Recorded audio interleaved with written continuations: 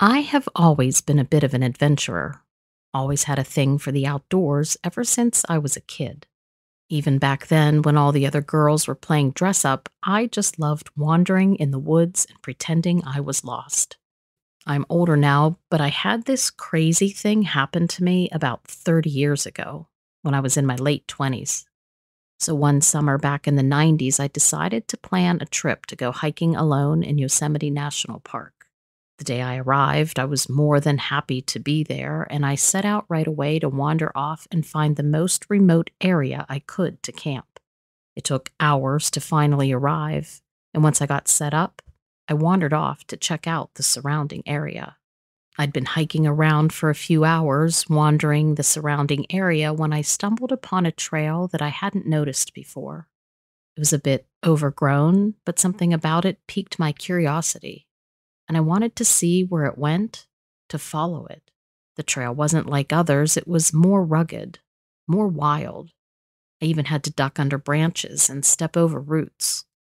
After a while, I ended up at this little bridge, but the creek bed underneath was dried up. I kept going beyond the bridge and eventually came to a clearing with stones all around it in a circle. I looked closely, and right in the middle of the circle was what looked like a huge well. Now, I'd seen wells before, but this one was different. It was old and crumbling, and it had this eerie vibe to it. I found a rock and tossed it in, but I never heard it hit the bottom. I don't know if it was dry or if the water was so deep but either way, I couldn't hear the rock splash. Next, I started looking around for more rocks to throw in. I was looking around in the bushes at the edge of the clearing when I came across these huge stones embedded in the ground, mostly buried. I could barely see them. While looking at them, I realized that there was writing on some of them, even though I couldn't understand it. I stepped back, and it took me a minute to realize they were probably gravestones and that I was in some sort of a graveyard in the middle of the woods far away from anyone. I started getting chills when I realized that. And just then, I saw a dark shape standing just inside the woods facing me. I stood up very slowly and I stared at the dark shape. It didn't move at all until some clouds moved away and the clearing became more lit up. And that's when the shape moved as it scooted out of sight and back into the shadows. This thing was the size of a human adult, and to me it looked like it was covered in black feathers. Turned its head towards me and seemed to look right through me with these freakish red eyes. And then it lifted up these huge black wings and jumped with incredible force up into the tree behind it. And it sat there, perching on a branch like some giant bird out of a nightmare. I wasn't that freaking. I wasn't that stupid. I turned around and I ran as fast as I could all the way back from where I had come. I ran over the bridge and found the original path, and then I looked back and I saw that thing standing there at the far edge of the bridge. Just standing there. It had somehow gotten out of the tree and followed me a bit without me hearing anything. I screamed and I kept running. I soon tripped over a tree root in the path, ripping my pants and tearing up my knee, but I just got up and I kept running. Eventually, I burst out of the trees and just kept going for hours until I reached my car. From there, I drove straight to a ranger station to tell them what I saw. They tried to calm me down and said there was nothing like that in the woods and that I must have made a mistake. But that just made me more hysterical and determined to convince them. I decided to do some research. I started looking into the history of Yosemite, trying to find any mention of a graveyard or a well. I spent hours poring over old maps and documents. I even reached out to local historians and park rangers, but no one seemed to know anything about it. Until one day I came across an old newspaper article. It was from the late 1800s, and it mentioned a small settlement that used to exist within the park. The article was vague, but it mentioned a well and a graveyard. My heart skipped a beat. Could this be the same place that I had stumbled upon? I needed to go back to that site, back to that trail. I was scared, but I needed answers. I needed to know if what I saw was real or if it was just my imagination playing tricks on me. I needed to prove to the rangers that I wasn't crazy. So I headed back along that same trail, overgrown and rugged. I followed it with my heart pounding in my chest for the few hours it took to get back there. A few times I even nearly talked myself out of continuing, but I kept moving along. Finally, when I reached the clearing, it was just as eerie as I remembered. The well, the gravestones, they were all there, but there was no sign of that creature. I spent the day exploring the area, taking pictures, making notes. I even dared to go down into the well a bit, but I didn't find anything unusual. As the sun started setting, I decided to put camp up in the clearing. I know that sounds crazy, but I had to know if that creature would come back. I barely slept that night, every sound making me jump, but the creature didn't show up. And then as the sun rose, I packed up my things and headed back out. Even though I didn't see the creature again, I felt this strange sense of closure. I'd faced my fear and returned to the place that had haunted me. I still don't know what I saw that day, but I've come to accept that there are things in this world that we can't explain. And you know what? That's okay. It's okay to not have all the answers. It's okay to be scared. It's okay to believe in the unknown. Because sometimes the unknown is what makes life interesting.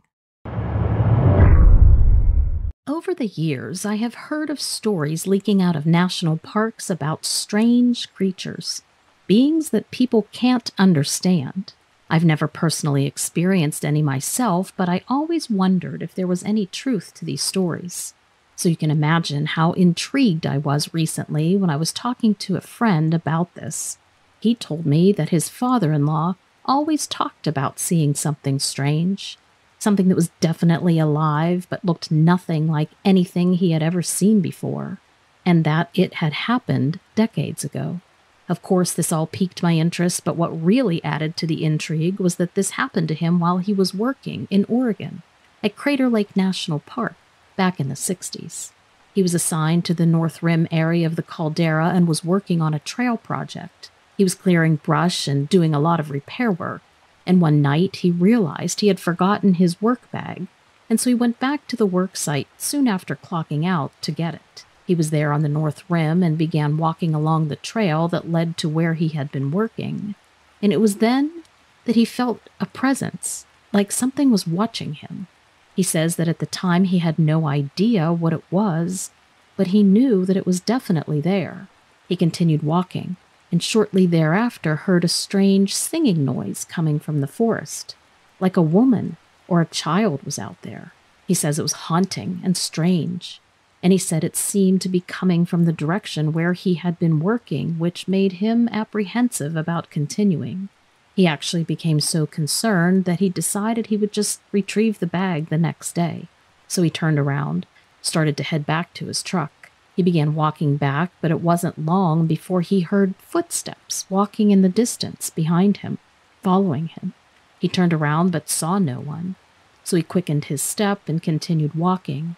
And at the time, he then again heard footsteps following him, now keeping pace with him. They walked when he walked, they stopped when he stopped. He said it wasn't long before he felt a strong sense of danger. So he then started to run back to his truck. And then just before arriving there, he turned around, and that's when he saw it. When he turned around, he saw the whites of two eyes looking at him, piercing at him from the darkness. He also felt again that strong sense of evil. As he stared in the direction of the eyes, the rest of the creature then slowly revealed itself to him. What he saw was completely pale gray in color, and he said that it kept low to the ground and yet it was able to move very fast at the same time. He said that he was only about 20 feet away from it when he saw it. He said then that it paused when he stopped at his truck, and it looked up at him with large, black, round eyes that seemed to be too big for its head, almost alien like in appearance. It stared at him without moving or blinking at all, but soon quickly turned and disappeared into the undergrowth. After standing there shocked for a minute or two, he then stepped forward to try to find it and he looked around continually for about an hour or so but couldn't locate anything. No sign of it at all. He said that he had worked in the park for years and he knew that area like the back of his hand, so he was surprised that nothing showed itself that was out of place. He then decided to give up and started heading back to get to his truck, but he found that in good conscience he didn't want to do that, thinking that the creature could be dangerous, and with people in that area every day, who knows what could happen. And so he returned to where he saw it, and now there were some tracks which looked like dog tracks but bigger than they should have been. And also, what struck him as odd was that it looked like there were only four toes on each print rather than five that you would expect from a normal dog. So, after looking at these tracks for a few minutes, trying to work out what made them, he had this very strange sensation while standing there. He said his mind seemed to blank out, and he couldn't remember why he was there or what had happened there. So he then decided to leave the area and head home, which he was able to do without incident. But the next day, while at work, his boss rang him and asked him if he had seen anything strange in that area when he was there earlier, since another worker had reported seeing something unusual also. He said yes, and proceeded to describe the creature with gray skin and eyes that were like black holes. But his boss was dismissive to that description and tried to offer up explanations that didn't entertain an unknown creature. The boss was almost even patronizing about it to the point where he made the friend's father in law go back with him to look at the area again and look for the tracks.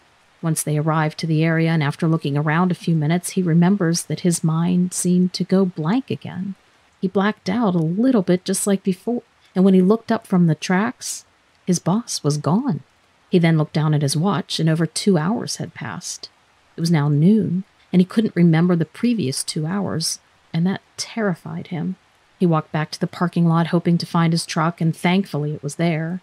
He got in and immediately returned to the main building where he found his boss sitting in his office. He walked up to his boss's office, asked him about what had happened, but his boss just looked up as if nothing had happened and asked how his day was going, very nonchalantly. At that point, my friend's father in law knew that what he was experiencing was not normal at all and the thought crossed his mind that it might even be extraterrestrial or some other kind of unworldly creature that had played with his mind.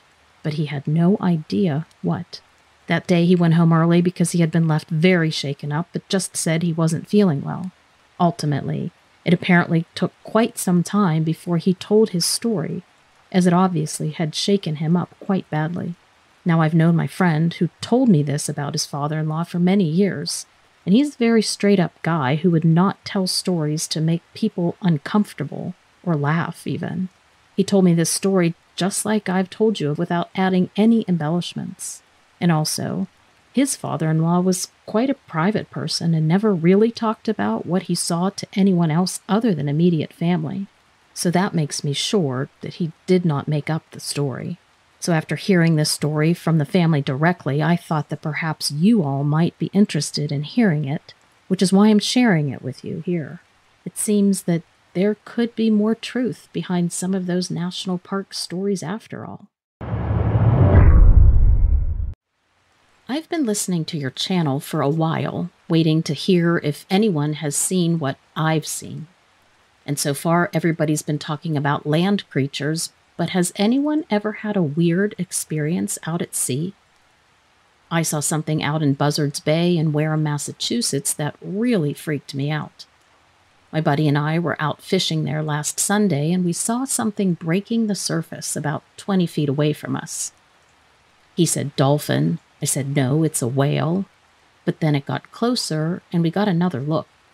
It was a weird blue green color when it rose up a little, and it made a hump like a camel has. But it was shimmery, not the color of a whale or a dolphin, a brighter color like those fancy tropical fish that you can buy. So we were thinking it was some sort of a floating trash that was reflecting the light. I don't know, just bobbing up from the current or something. But the weird thing was, it kept getting closer to us, way faster than the current would bring it. And then it stopped. It disappeared for a few minutes, and I was guessing it had sunk. A few minutes later, we're just chilling, kicked back with our rods, and the strangest things started happening. The water began to swirl around us, maybe in a 15 foot parameter with us in the middle. Little waves cresting and going in in a circle around us. I never saw anything like it, and neither had my buddy because he sat right up and said, What the hell? At first, I laughed because he's this big guy and he looked a little nervous, and I was thinking there had to be a rational explanation, like we were caught in a school of bluefish or something.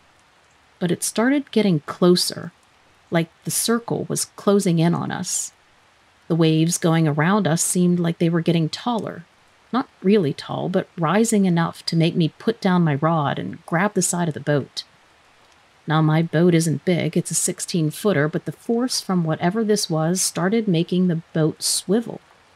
Now, we weren't spinning fast or anything, but we were doing a circle. And then we were both like, What the hell is going on? And I said, Let's get out of here. He said, Yeah. So I tried to fire up the motor, which is a 60 horsepower Yamaha four stroke that I got a year ago.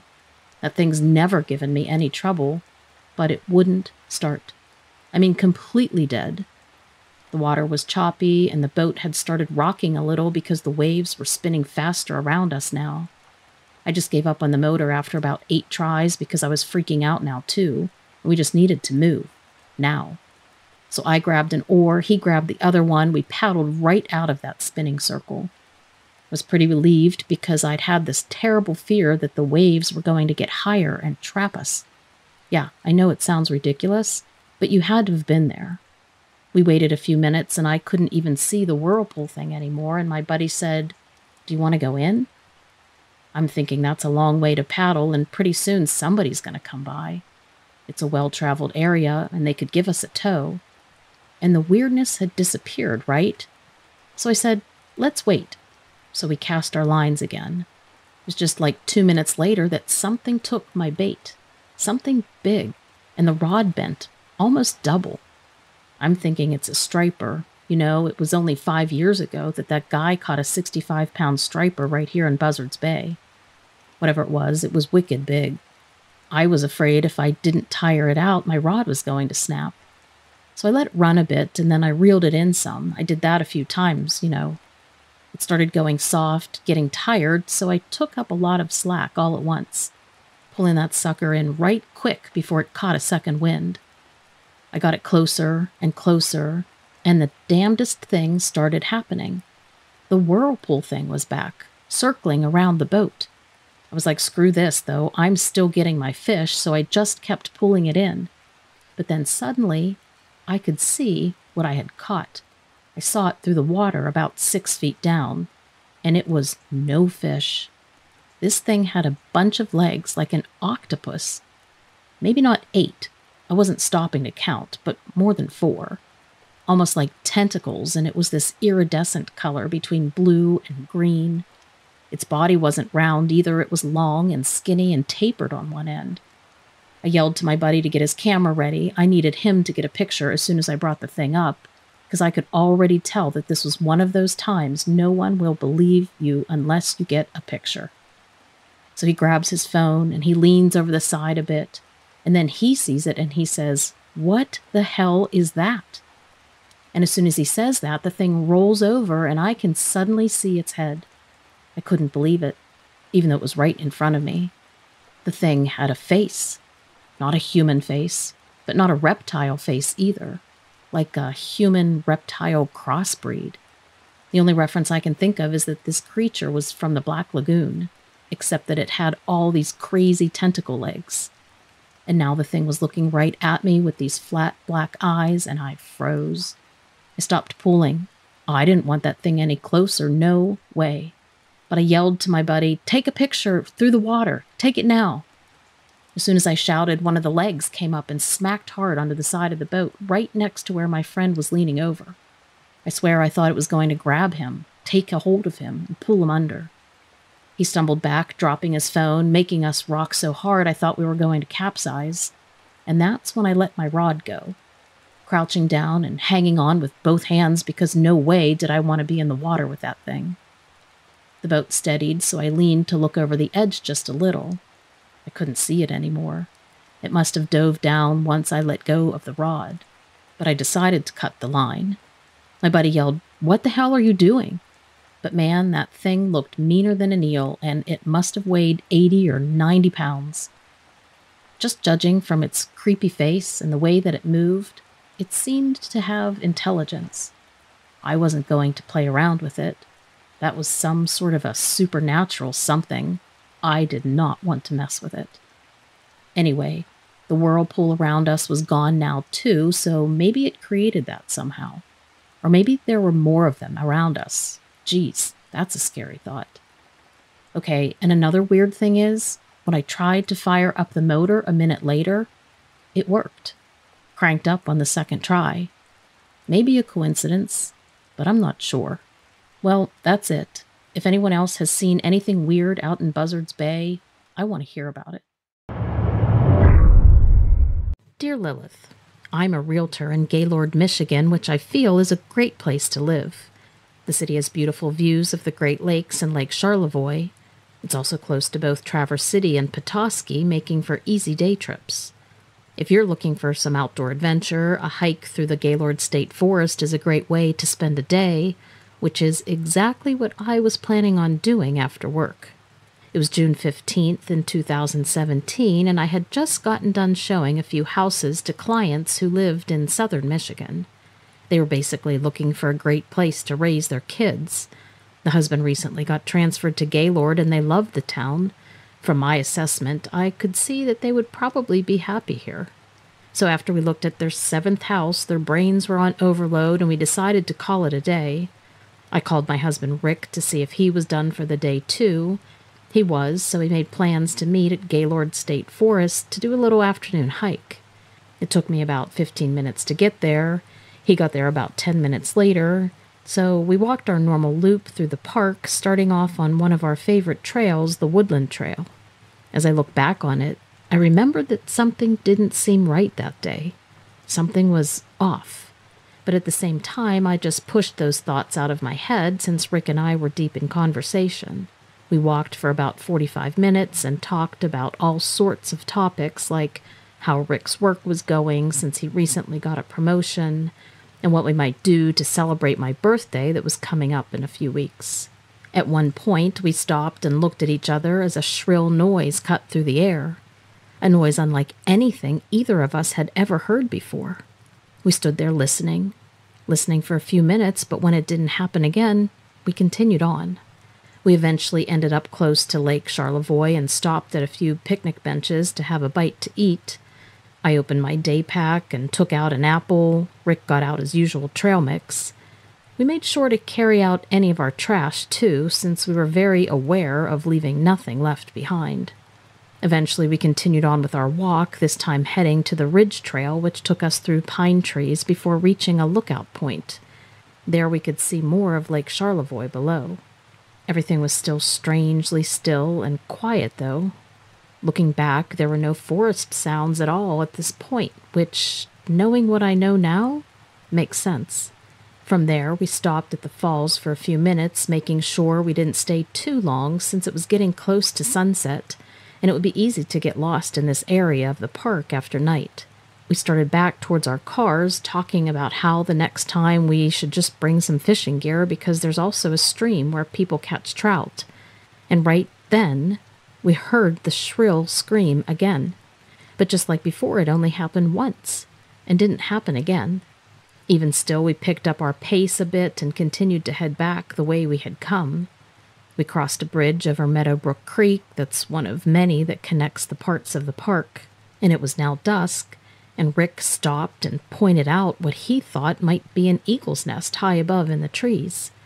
Luckily, I had my zoom lens with me so we could get a closer look, and sure enough, it was an eagle's nest, and Rick spotted one of the eagles perched on top of the tree, looking down at us from its vantage point in the branches. Now, Rick's an avid bird watcher. I never really got that into it, but I do find them interesting. He then also pointed out a black capped chickadee that was perched on the side of our path. That one right there, that's the black capped chickadee, and he went on and on, but I was barely listening after a while. I realized that I was still feeling creeped out by those screams that we heard, and I eventually interrupted him and told him I just wanted to keep moving along back towards the car because I was feeling weird. He was good about it. He agreed to head back with me, so we started off in silence, and then As we headed back, we began to smell something foul that seemed to be coming from the path ahead of us. I mentioned it to Rick, and he said he smelled it too. Said that he thought it was probably just a skunk, though. But as far as I was concerned, this did not smell like a skunk. It was a really foul odor. I was thinking it might be the carcass of something big, like a deer or even a coyote. Eventually, we made the left turn at the fork in the path, and that's because we had seen the tree that was completely covered in bird poop. That was actually our landmarker that told us that we were close and on the right path that would take us back to our cars. But this is also when I really noticed something wasn't right. I felt a change in the air, and all the birds stopped chirping, and all the movement in the forest stopped, and it got really quiet. Rick also noticed it. It made me think of all the movies where something bad happens to campers or hikers right at this point. And this was all just too weird for me not to be worried. We literally started jogging and reached a clearing in the woods when we heard unusual sounds. Loud, obvious sounds, especially noticeable with all the other silence in the woods. They sounded like huge branches snapping off from trees, or even like trees were being knocked down or pushed over by something coming closer to us. And that's when we saw it. We both saw it. The creature was eight or nine feet tall and had mangy fur all over its body. It had the head of a German shepherd or maybe a wolf, but the body of a man. Its eyes glowed yellow, and it was snarling at us with fangs like something out of a horror movie. Had I manifested this thing? I couldn't believe it. I couldn't understand it. What was I seeing? Rick grabbed me, pulled me behind a tree, but it was too late. The creature had seen us and was now coming directly at us, running as fast as a horse would gallop. Luckily, Rick always carries his pistol with him on our walks just for protection, and he fired at the ground in front of the creature. The noise of the gun startled it, which caused it to rear up its head and let out a shrill scream. The exact scream that we had heard earlier, twice. I was now completely frozen in my tracks. I was sure we were about to be attacked. But before I could say or do anything, the thing turned off the path and fled into the woods. Rick and I were speechless. All we could do was look at each other. He finally was able to yell, Run! and we both bolted to our cars. We got in his car, sat there for a little bit as neither one of us felt able to drive. We were both blabbering simultaneously, trying to process it, but it was obvious that we both felt that we had been lucky to escape with our lives. I was never a believer of monsters before, but this day changed me. I'll admit it. Now it's been years since this experience happened, but it still haunts me, both when I'm awake and when I'm asleep. I hear Rick dreaming about it too, but I've never brought that up with him because I don't want him to have to think about it when he's awake. I mean, it seems like he doesn't remember his dreams because he doesn't talk to me about them, but I can't be sure. Maybe he's just protecting me. Rick and I still do go hiking, but we haven't been back to Gaylord State Forest since that incident. He always still brings his pistol, and we never go hiking close to dusk or dawn. I've read folklore about the Michigan dog man, and I thought it was all make believe. But when I saw that thing, that creature with my own eyes, and experienced it running straight at us, I knew then that there really are true. I lived in Louisiana in an apartment complex when I was in high school, and I loved to hunt the woods near there that were within walking distance. I almost lived in those woods. They had beautiful oak trees and trails. So one day I was hunting with my bow in a nearby pasture which had a barbed wire fence separating it from those woods. I know I shouldn't have probably been there, but I was young and stupid and I didn't care. I'd shot a rabbit there just a few days earlier with a razor blade arrow. I was walking down the fence line this day on the pasture, heading towards the corner where the fence went off to the left towards the apartments. And that's when I heard something large in the woods coming straight towards me, crashing through the brush. It made me really curious because here the woods are very thick, hard to walk through. Also, no one ever really went in this part of the woods except for me. They were like my woods. I said, Who are you? What are you doing here? No answer. I repeated it. Still no answer. They just kept coming closer, and then they got to about 25 feet from me. And then it made me mad that they weren't answering. So I almost jumped over the fence and ran over there to see who was only 25 feet away and not answering. But then I remembered that about a week ago I'd seen a man in his 40s with a long barreled revolver on his hip across the creek and coming from an area that had an abandoned barn. And that area always gave me the creeps, I just never went over there. So I caught myself right before I jumped over the fence and said to myself, something here does not seem right. By this time, I was at the corner of the fence line. I turned left and continued to follow it towards the apartment and then I heard what I thought was a person. I thought it was a person as my initial instinct because basically 40 years ago we didn't believe in cryptids or supernatural stuff or anything like that. So I stopped walking, but it stopped too. So I started walking again, and it started walking. I could hear it alongside of me, continuing to stay about 25 feet away. Now, the woods are very thick here in Louisiana, so you really couldn't see through them. As I walked, I made sure that my razor blade arrow was well notched and I never took my eyes off of the direction of who was walking parallel to me. And then it came to a part of the woods that I can never get through because there's a different type of brush here, one that's about five or six feet tall and very, very sharp. I even remember that once I shot a bird there and tried everything I could to get to the bird and couldn't crawl under that brush or over it. I wasn't afraid to go through it, I just physically couldn't. But anyway, this thing started crashing through this crazy thick brush. As I began to walk fast, then I saw for a split second a really tall black figure crashing through. It was solid black, maybe eight to ten feet tall. It had to have been huge to step over those five to six foot bushes. And then I could see it from about the chest up from where I was. It had its arms in the air and out in front of it, and its torso was leaning forward, but it didn't look like it had any clothing on, which I thought was weird.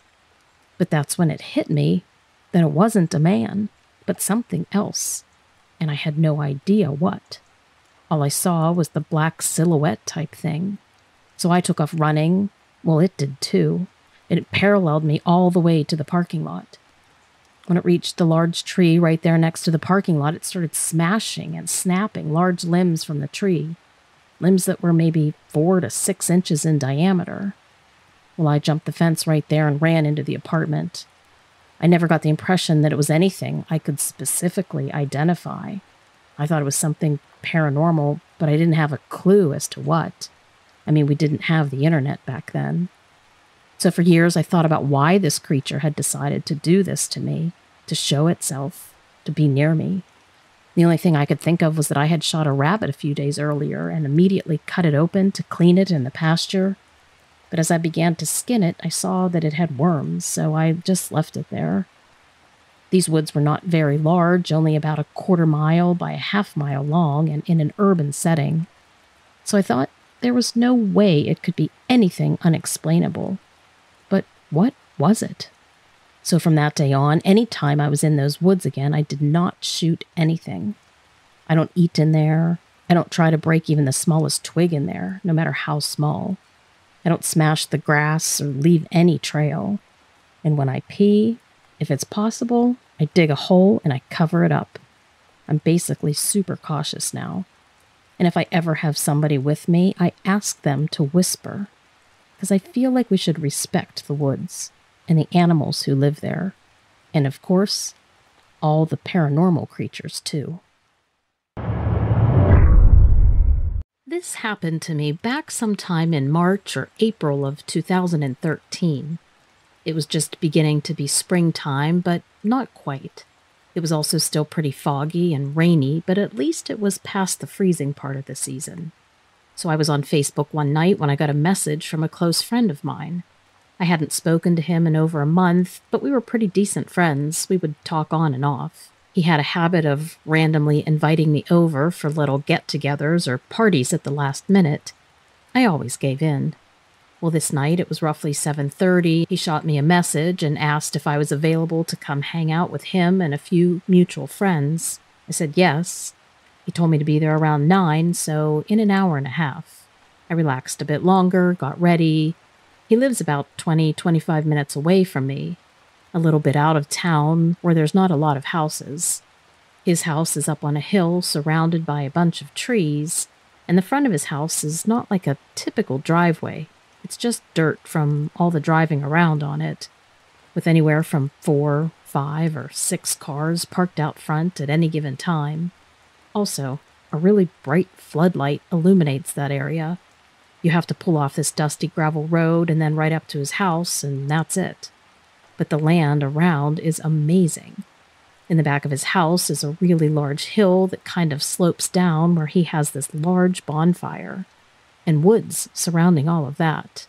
Well, that's only relevant to include here because, well, that's where we would usually go party and have fun. So you can picture how we didn't have to worry about neighbors since none were really close by, at least not for a half a mile in either direction. So now driving out to his house, everything was fine. It was a little foggy with somewhat clear skies, not rainy. I think it was a little wetter than usual considering the time of year. So, anyway, I pull up to his house and the floodlight comes on. And then, as soon as it does, I see this large shape, like a dog shape, but the largest dog I've ever seen in my life, jump out from behind his Ford and land right next to my car on the ground. It looks at me and then runs off into the bushes. I was kind of freaked out. This thing was like the size of a lion, you know, like lions in Africa, something that could easily pounce and kill you. I remember very clearly parking my car, jumping out, and running to the back of the yard where everybody was because I was so spooked and I didn't want to be out there alone. I ran right up to him and I said, Dude, you have a flipping lion in your front yard. He looked at me strangely and laughed. I think he thought I was already drinking or something. But I explained to him what happened. He and his sister and a couple of our other friends who were already there were curious, but basically they laughed it off. I guess they thought I was either playing a prank or just joking around. But I insisted and I kept going on about how serious I was, and that what I saw did indeed happen but they paid no attention to that and basically continued going on doing their thing. So I had no choice but to just get over it at that point. Well, as the night went on, we quickly forgot all about the whole giant wolf dog thing that I saw. At least that's what I kept thinking the shape looked like a giant dog. I mean, I didn't really see exact details because it was dark and the floodlight came on at the front of the house, which it was so bright it just gave me a large silhouette to look at. But as the night went on, probably closer to midnight, I had drunk a little, but not a lot, and then eventually my friend who invited me over was beginning to fall asleep. He's a heavier drinker than I am, and although I enjoy it, I'm much more of a social drinker. But anyway, there were some other mutual friends who had arrived later. They were all getting pretty inebriated too, you know, laughing and talking loudly. And that's when we started hearing noises off in the woods, in the distance but I didn't really hear them, or I should say, I didn't really take note of them at first. Between the bonfire and the beginning of the woods, maybe 200 yards or so, it's a pretty large open space. I mean, you could easily go ATVing. I think there were woods and trees around there at one point, but before my friend bought the property, it was all cleared and torn out, so it's just this big giant clearing that he keeps mowed. Well, anyway, we heard all sorts of crashing noises and crashing in the woods, sounding like a large animal coming through the trees. I didn't hear any howling or any other animal noises exactly, just this crashing sound, like something trampling about. I'm trying to paint this picture for you, but I can't really get the words. But imagine the Hulk and put him in the middle of the woods, like in the dark forest at nighttime. Imagine the noise he would make moving around, pushing trees over, stomping, you would probably guess that there was some sort of heavy machinery in there. But yeah, that's how loud it was, except no machinery sounds were accompanying it, just crashing and thrashing. Some of our friends were mildly concerned. I would say mildly because their state of inebriation took over more than their concern about what was in the woods. I was really the only one that began to get nervous at this point, and it went on for quite a while. I would say close to an hour, on and off. But then it suddenly stopped. All the noises from the forest stopped, even the sounds of the night crickets. even the wind. It was dead silent. And now it was about 1 or 1:30 in the morning and most everybody but I was out of it. So much so that they were able to ignore any eeriness that was lingering in the air. I sat out there in the quiet for maybe 10, 15 minutes, but then I made the announcement that I was going to go inside, lay down, and figured that they should all come with me. I said so too, that we should all just put out the bonfire and make it a night. Some of them agreed, but one of our friends didn't want to come in and insisted on staying out there. Whatever, I know it was probably a mistake, but I left him stay out there. I would say most of us decided to put out the fire and go in, but a few did stay out there, still talking and laughing. I guess they came in at some point during the night, but I had fallen asleep by then. Luckily, my friend had a pretty big house and a really big living room, so there were many places on the floor to crash, he had mattresses and pads all over, so it wasn't hard to find a spot. I mean, he had his living room set up in a way that 10 or 15 people could be there at any given time. Pretty nice setup, actually. It worked out in our favor, not to mention the giant windows overlooking the yard. Through them, you could perfectly see out to the bonfire area and where all the woods were. Even though I was pretty creeped out, I decided to just fall asleep, and miraculously, I did. Well, the next day I woke up early, I looked around, and everybody was inside. I was one of the first ones up, though, and decided I should just head home since I figured everybody'd be sleeping for a while longer. But then I noticed my friend was awake too, so I talked to him a bit and asked him how things went. And then I told him again about the experience that I'd had, hoping to explain about the thing that I saw and why I was so uncomfortable the previous night. He said when he left the fire to go back in the house, he was one of the last ones out there. Just two people were still out there. He told me that as he walked to the house, he too had this intense feeling like something or somebody was watching him. He said he looked around, but noted nothing looked strange, and then remarked how weird it all sounds. Weird because it coincides with exactly what I told him happened to me. He felt like something or somebody was watching him through the woods. I asked him, could it have been neighbors? He said, no, the only neighbor who lives about a half mile away in that direction is an elderly couple. So they would never be going through the woods or near his property at 1.30 or later in the morning. I mean, the couple was at least 80, so there's no way, no reason that that would be happening. Anyway, I know this is probably a dumb story to share because I don't really even have a resolution, but that's because this is exactly how it happened. Both me and my friend totally just got creeped out, separately, by the same thing. And I never did figure out what that silhouette of this large dog was or what the crashing sounds were in the woods. I can't help but find it all really scary that this weird stuff happened to not only me, but him as well on the same night. It makes me think that it maybe really did happen. I mean, we both acknowledged it, Everybody else, though, seemed to downplay it severely. Maybe they knew, but they really didn't want to know. Like I said, this was back in 2013. I've had no sort of experience like that since then. And it's really been the only experience that I've ever had that was even remotely weird. And I've been out there many times since that day. Nothing weird happened. So maybe it was just a fluke. I'm not sure. But maybe we truly did encounter a creature that night. But I guess I'll never know. I just hope that it doesn't. I'm a 10 year veteran of the New Jersey Highway Patrol, so forgive me for not attaching my name to this. I'd be laughed right off the force, but I swear to you that every word of what I'm about to say is true.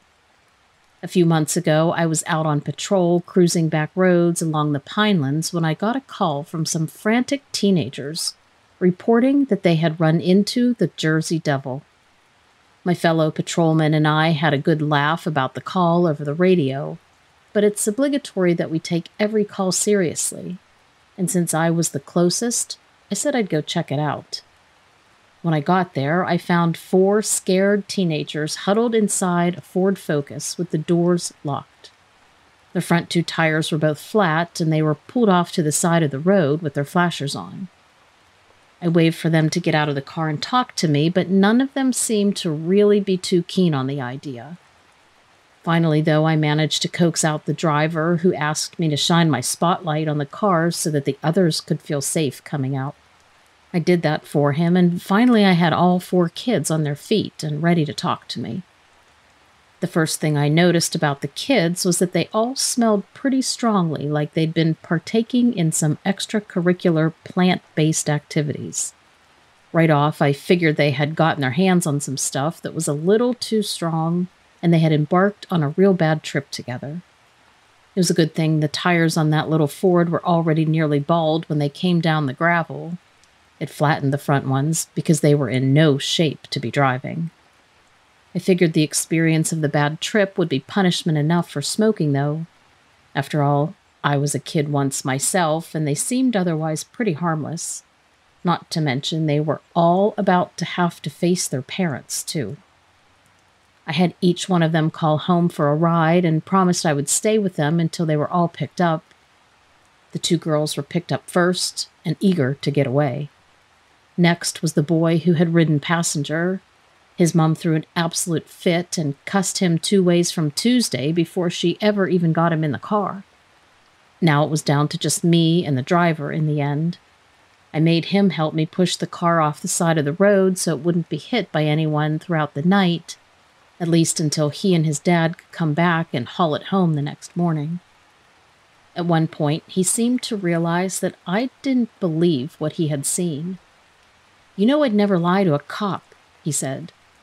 I told him I was sure that they'd seen something that scared them, but that they needed to lay off the weed because it clearly had made them paranoid. It slashed my tires, though, he said. He was almost pleading with me at that point to come and take a look. I didn't figure there was any point in arguing with the kid any further. I just told him that I was glad he called and that they were getting everybody home safely. And that's about the time that his dad pulled up. The first thing the dad wanted to know was if it had been the Jersey Devil that popped the tires. The son said that it had, and the dad went off telling us both this wild story about how he had seen the thing when he was a teenager. By then, I was figuring that the kid's paranoia and hallucinations must be related to a genetic thing, or that maybe his parents had done a little too much of the devil's lettuce in their day, too. Dad wound up taking the kid, and I got back in my car to leave. My spotlight was still shining on the back of the car, and before I shut it off, I guess I let curiosity get the better of me. I got out and I walked over to the car and shone my flashlight on the tires. I wanted to see if they were really ripped to shreds like the kid kept saying. Oddly enough, they were.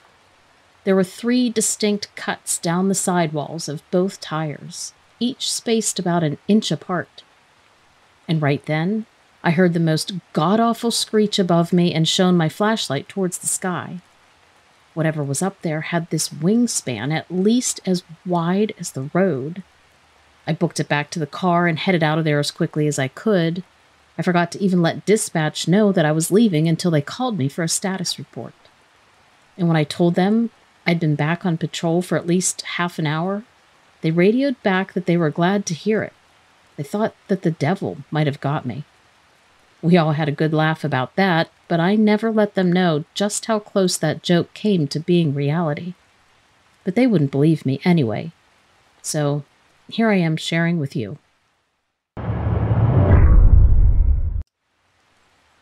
I used to share my weird experience a lot when I was younger. I was naive enough to think some people would believe me, but most of the time they didn't. They just made up excuses saying it was dark outside, I was mistaken, or tired, etc., etc. So I stopped talking about it. But after hearing your show, I knew I had to share this with you and your listeners. I'm from the lower peninsula of Michigan, the top of the mitten, if you know what that means. Up north is what you would call it if you're from Detroit. There's not much up here except lakes and trees, but it's pretty though, and we get lots of tourists in the summer. The winters are cold. Everyone except the locals leave, and there aren't that many of us to go around. So, like most rural teenagers at that time, we used to head up into the woods to have a bonfire. It was during one of those bonfires that it happened. This was before cell phones were really a thing, at least not up here yet, so when we were partying, we were cut off from the rest of the outside world. Our normal spot was this farmer's field surrounded on all sides by woods. We learned from the older kids to wait until late fall or early winter to start going there, after the farmer hauled in the last harvest, so we knew there wouldn't be anyone up there. It was sort of a rite of passage in my town. When you were a sophomore or junior, one of the seniors would let you tag along to one of their parties and show you the spot. Nobody got crazy at these things. It was too cold, and we heard too many stories of kids getting lost in the snow or losing fingers to frostbite. But we always had a good time. I'm telling you this because most people brush off what I tell them, saying I was just a young and panicked teenager. But I was in my right mind when it happened. My sophomore year, we were having one of these bonfires in the field. Everything was normal, everyone was having a good time. We were burning pieces of an old barn and some furniture an old lady had left out for trash. My best friend at the time, I'll call him Mike for his anonymity, was grilling up some frozen burger patties next to me in a rusty old charcoal grill we kept out there. Sarah, also not her real name, was standing with us too, chatting away like she always did, when we heard this low, rumbling growl. I looked towards the sound of the growling, and at the edge of the firelight I saw two predatory eyes reflecting the fire back at me. I nudged Mike and Sarah and slowly pointed in the direction of the eyes, trying not to startle whatever was watching. We were about ten yards from the nearest group of partygoers, Sarah was terrified and she walked slowly backwards towards them. She never took her eyes off of the edge of the firelight. I don't even think she took a breath the entire time she walked away. I had the exact opposite reaction, was fascinated by the glowing eyes in the dark. We had been hearing reports that gray wolves were coming back into the lower peninsula from Canada and Wisconsin for a few years now but all anybody saw were flashes on trail cams or tracks in the snow. The Fish and Game Commission couldn't even make up their minds if these were real signs of wolves or just people mistaking dogs and coyotes. I was excited at the prospect of being the first person in Lower Michigan to see a wolf in the flesh. I could tell Mike was excited too because as I slowly stalked forward for a better look, he was glued to my side. Walking up to a potential wolf is basically the stupidest thing you could do, but I was young, and I could hear the whispers and the murmurs behind me as Sarah alerted the rest of the party to watch what was going on. I couldn't back down now. Everyone was watching, and I was a newbie. Mike and I were about seven or so yards away from the supposed wolf by now, and I could just barely make out the outline of its ears and its head. It looked almost like a large German shepherd, but with a broader snout and wider ears. The growling got lower, more menacing, like it was no longer a warning, but an actual threat. I've heard a million dogs growl, but this was more raspy and guttural, like there was something mismatched between the creature's vocal cords and its chest. Mike stopped moving and turned back. I was scared and wanted to turn back too, but I wanted to be the big man at the party. I wanted the other kids, the upperclassmen at the bonfire, to tell the story next year about how this new underclassman became a local legend when they talk about the bonfire. I noticed a strong odor coming from the wolf. It stank like a wet dog that went for a swim in urine.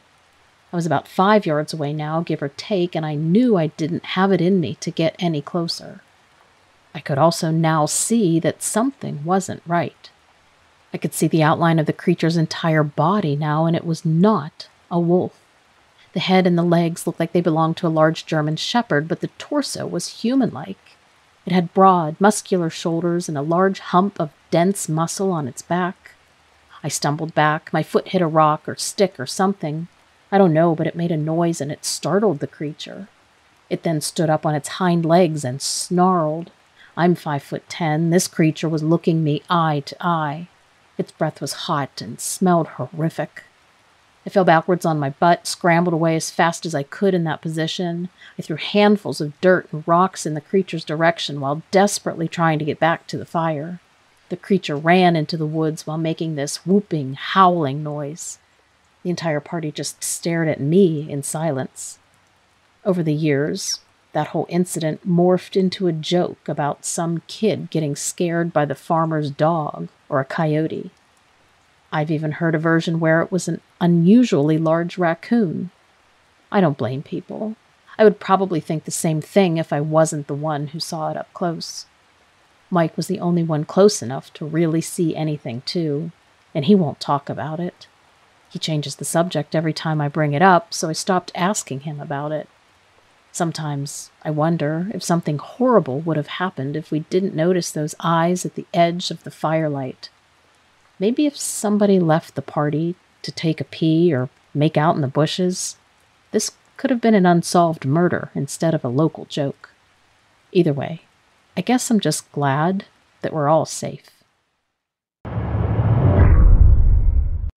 Hey Lilith, I've really enjoyed listening to all the stories you post.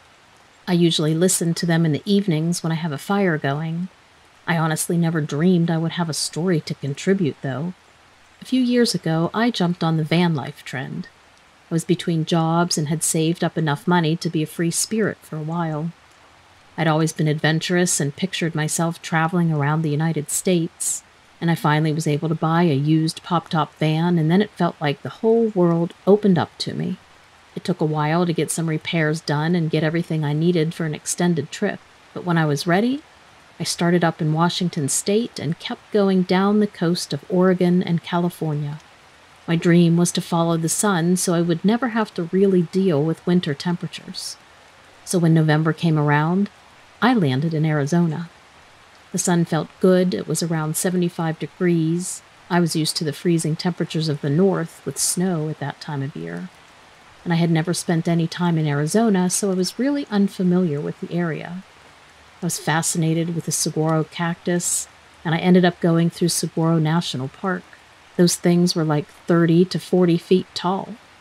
I realized that they were covered with these little spines, and some of them had an incredible number of arms. They really seemed otherworldly. And then somebody mentioned Coronado National Forest, and I thought I would camp there for a while. National forests are typically free to camp in, and I was trying to save money. So I was planning to be there for several days. I arrived on a weekend and found myself a spot that looked good. There were a few other campers close by, which made me feel pretty comfortable, and it was fun for me to putter around my campsite and get situated. Then, when I was ready to look around the area, I found a good trail and I set out. I really loved the terrain there. I had grown up in a completely different area, so this was all new. I grew up in Colorado and was used to the mountain life. This desert area was really enthralling to experience. It was a strange new land. After hiking for a couple of hours, I started to head back towards my campsite. Not long after I started walking back down the trail, something caught my eye in the middle of some of the trees. I could see this strange, reptilian creature moving back and forth through the brush. I was so startled to see it, I just stared for a while, and then it turned its head and looked right at me with these yellow, piercing eyes. I immediately started to walk at a fast pace back towards my van. This creature was moving along as well, keeping its distance from me, but tracking me. Then this kept up for what seemed to be ten minutes or so until I reached the clearing where I was parked. I got back to the campsite very shaken and nervous. All my years growing up in the mountains, I had never seen anything comparable to it. From what I could gather, it was very large, and it had stood up on its hind legs at one point. It seemed to be around six feet tall when it was upright, and it had large black claws, and it had a head like a lizard. The horrifying thing was that when it looked at me, it felt malicious. Obviously, I was a complete novice to the area. I had no idea what lived there, but that did not seem right at all. I mean, surely I would have heard of a six foot tall lizard before. There would have had to have been some kind of information posted on that kind of thing, right? So the rest of the evening was very quiet and peaceful until about two o'clock in the morning when I heard what sounded like this strange mix of hissing and clicking. I had my windows open in the van and it was loud enough to wake me up. I noticed a few other campers were looking outside.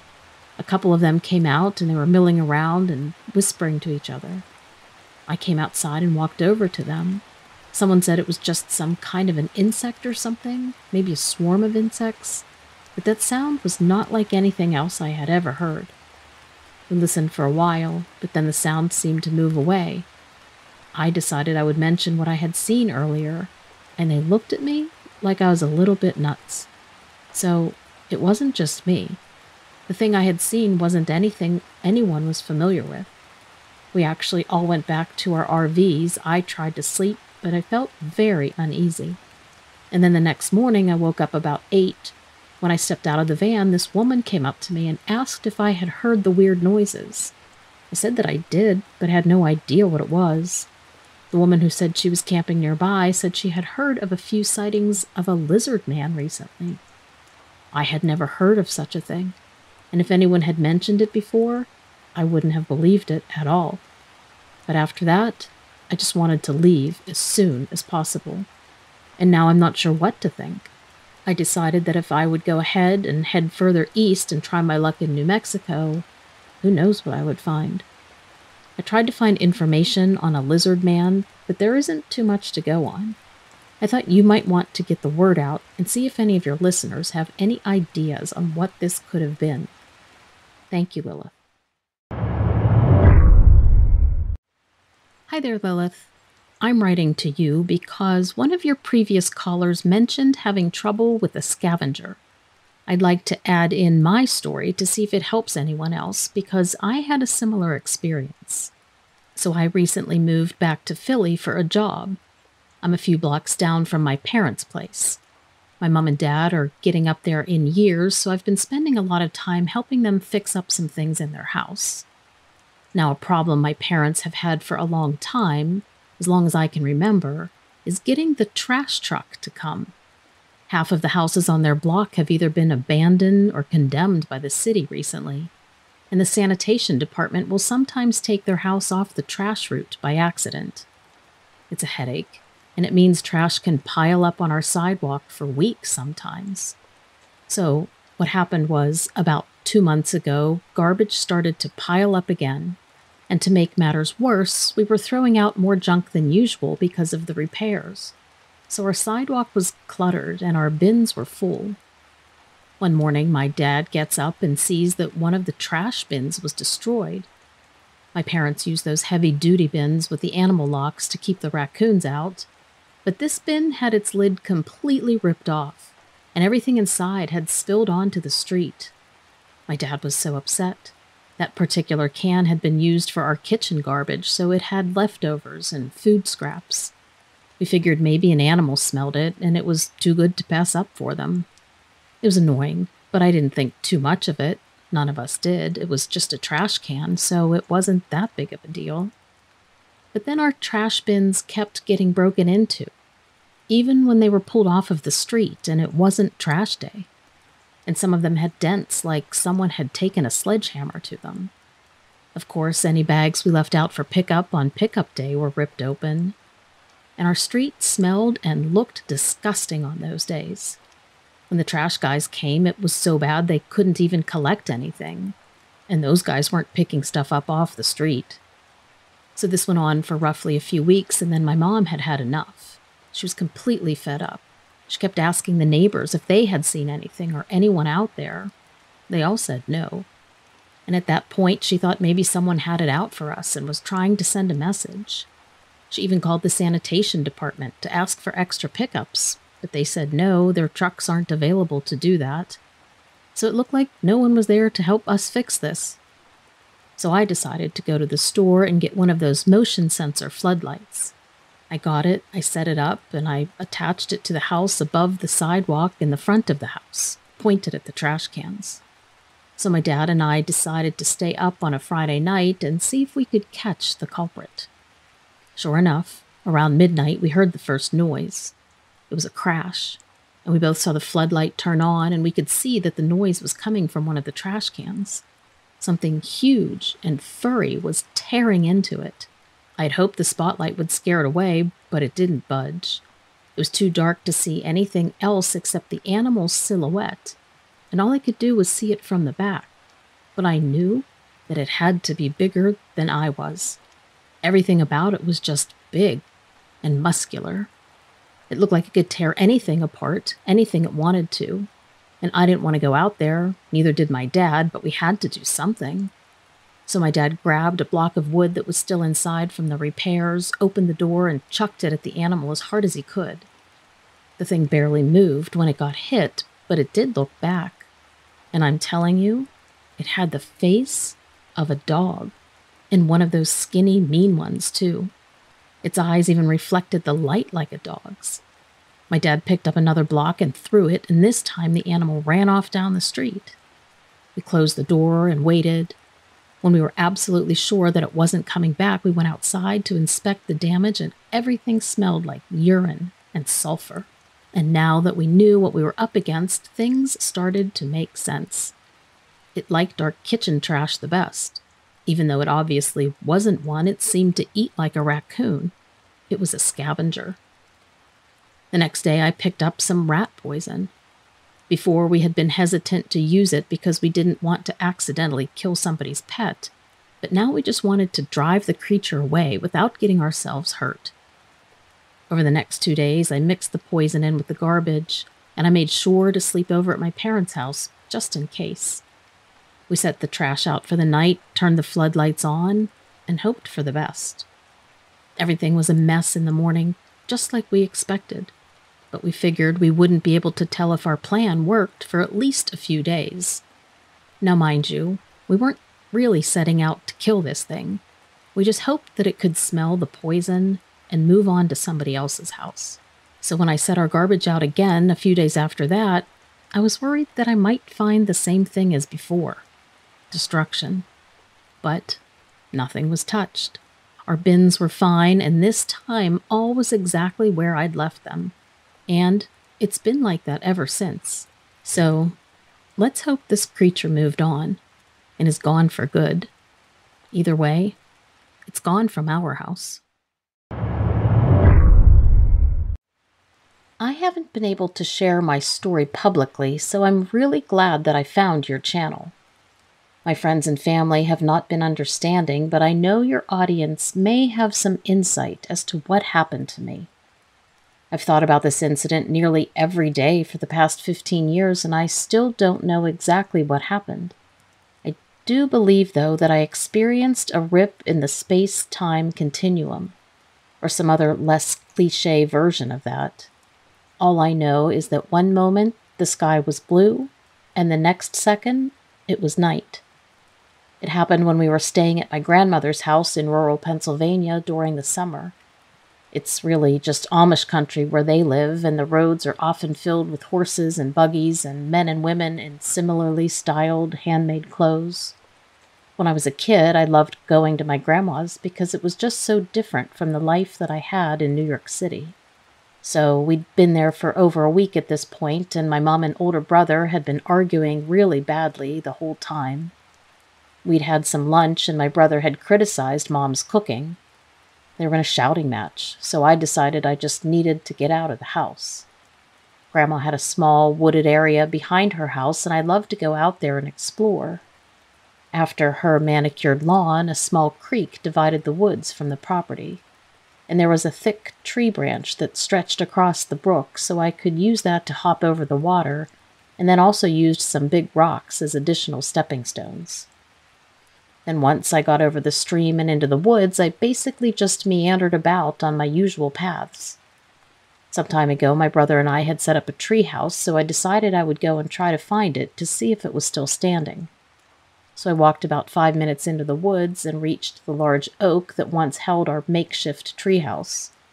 Unfortunately, but not surprisingly, it was a total shambles, and I decided that I'd be foolish to climb up there, so instead, I just started to turn around and walk back to the house, thinking I would just tell my brother what it looked like.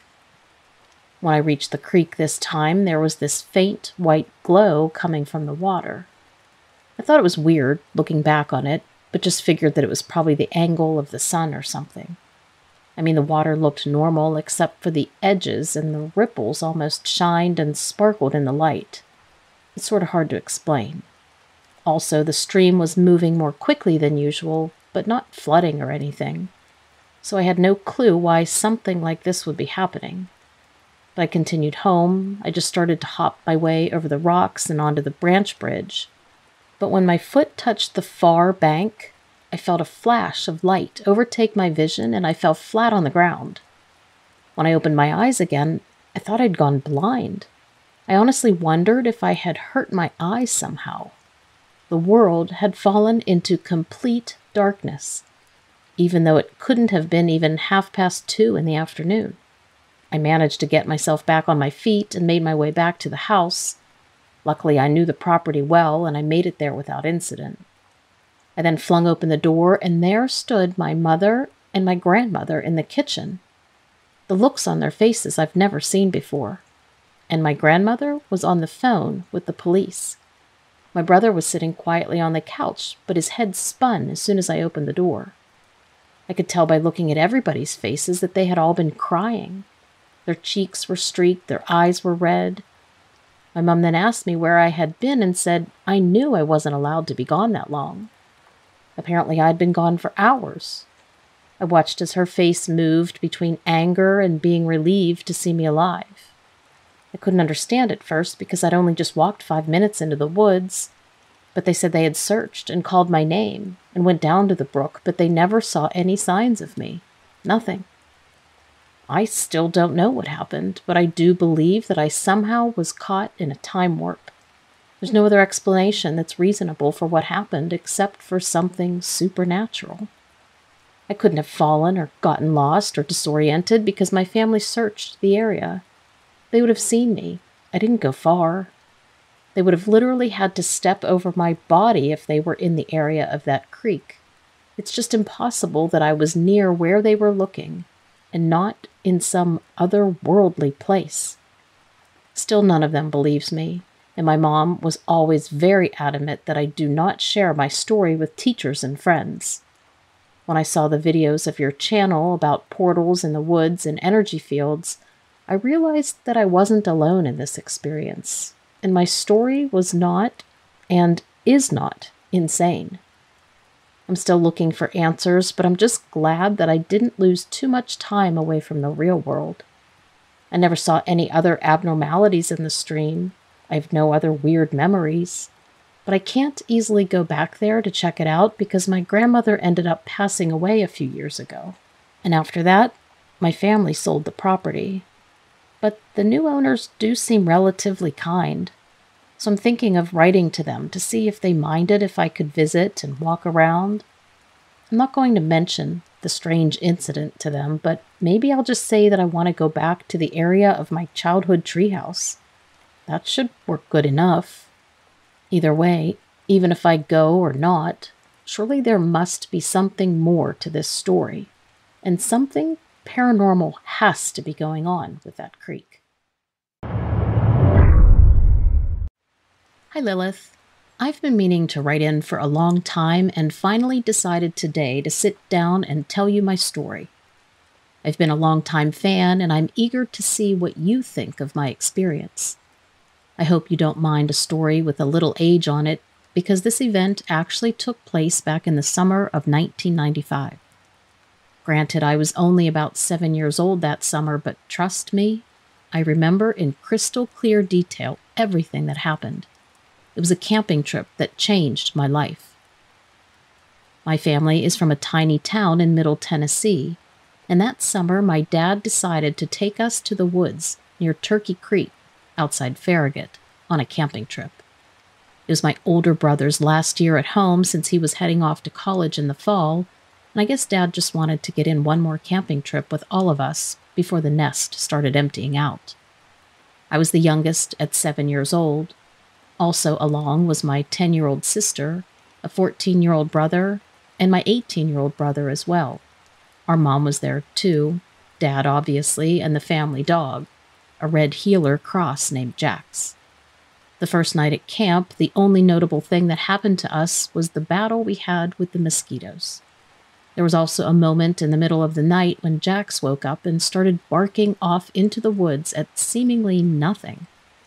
Dad said it was probably a raccoon or a deer, and he pulled Jax back into the camper to quiet him down.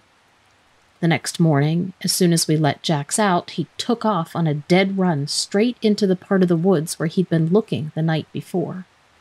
I started to chase after him, but Dad told me to stay put. Jax would come back on his own. There were too many snakes in the woods for me to take off stomping around on my own, he said. I did what Dad asked, and I waited all day, but we never did see or hear from Jax. As it started to get dark, Dad finally suggested to go look for him. My older brothers went one direction, Mom went with my sister in another, I went with Dad. We split up and searched as much of the woods as we could, but nobody saw or heard anything, and soon it was too dark to keep looking. Mom assured us all that if we'd just go to bed and rest, Jax would probably be waiting at the door for us in the morning. It was a sleepless night for me, though, because Jax was my best friend in the world. After everybody else fell asleep, I decided to sneak out and do a little more searching on my own. I grabbed my dad's flashlight and I slipped my shoes on, and then I snuck out of the camper as quietly as I could. Dad's earlier warnings about snakes had me pretty nervous I was walking with my head down and the flashlight pointed at the ground out of fear of being bitten, and I couldn't really call out for Jax out of the fear of waking up my family. I guess I was just hoping he would see me and come running. All at once, though, I heard a strange snort that stopped me in my tracks. I froze in place and I pointed the flashlight directly ahead of me. I'd heard about Bigfoot, but I never expected to see one in the woods in Farragut Every account I'd ever read had come from California or Colorado or up on the East Coast. But I swear to you on my life that this is exactly what I was staring at that day. It was eight or ten feet tall, covered in hair and a face that looked almost human, but with the widest nose of a monkey and a very large mouth. I was frozen in fear staring at it, and I couldn't even muster a scream, but to be honest, I don't think it meant me any harm.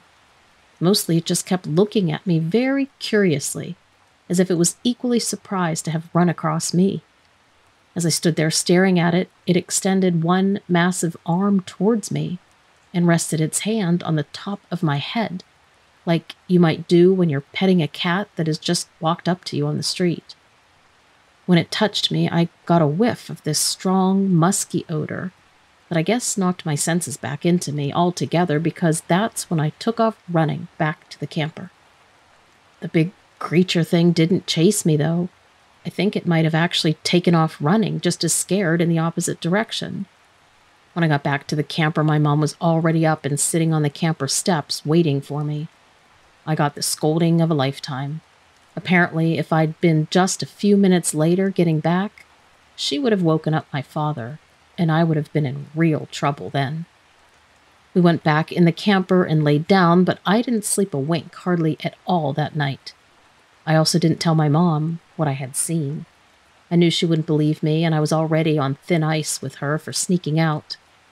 I didn't need to add accusations of lying to the mix. The next morning, though, when we all came out of the camper, there was Jax, safe and sound, and tied on his tether outside.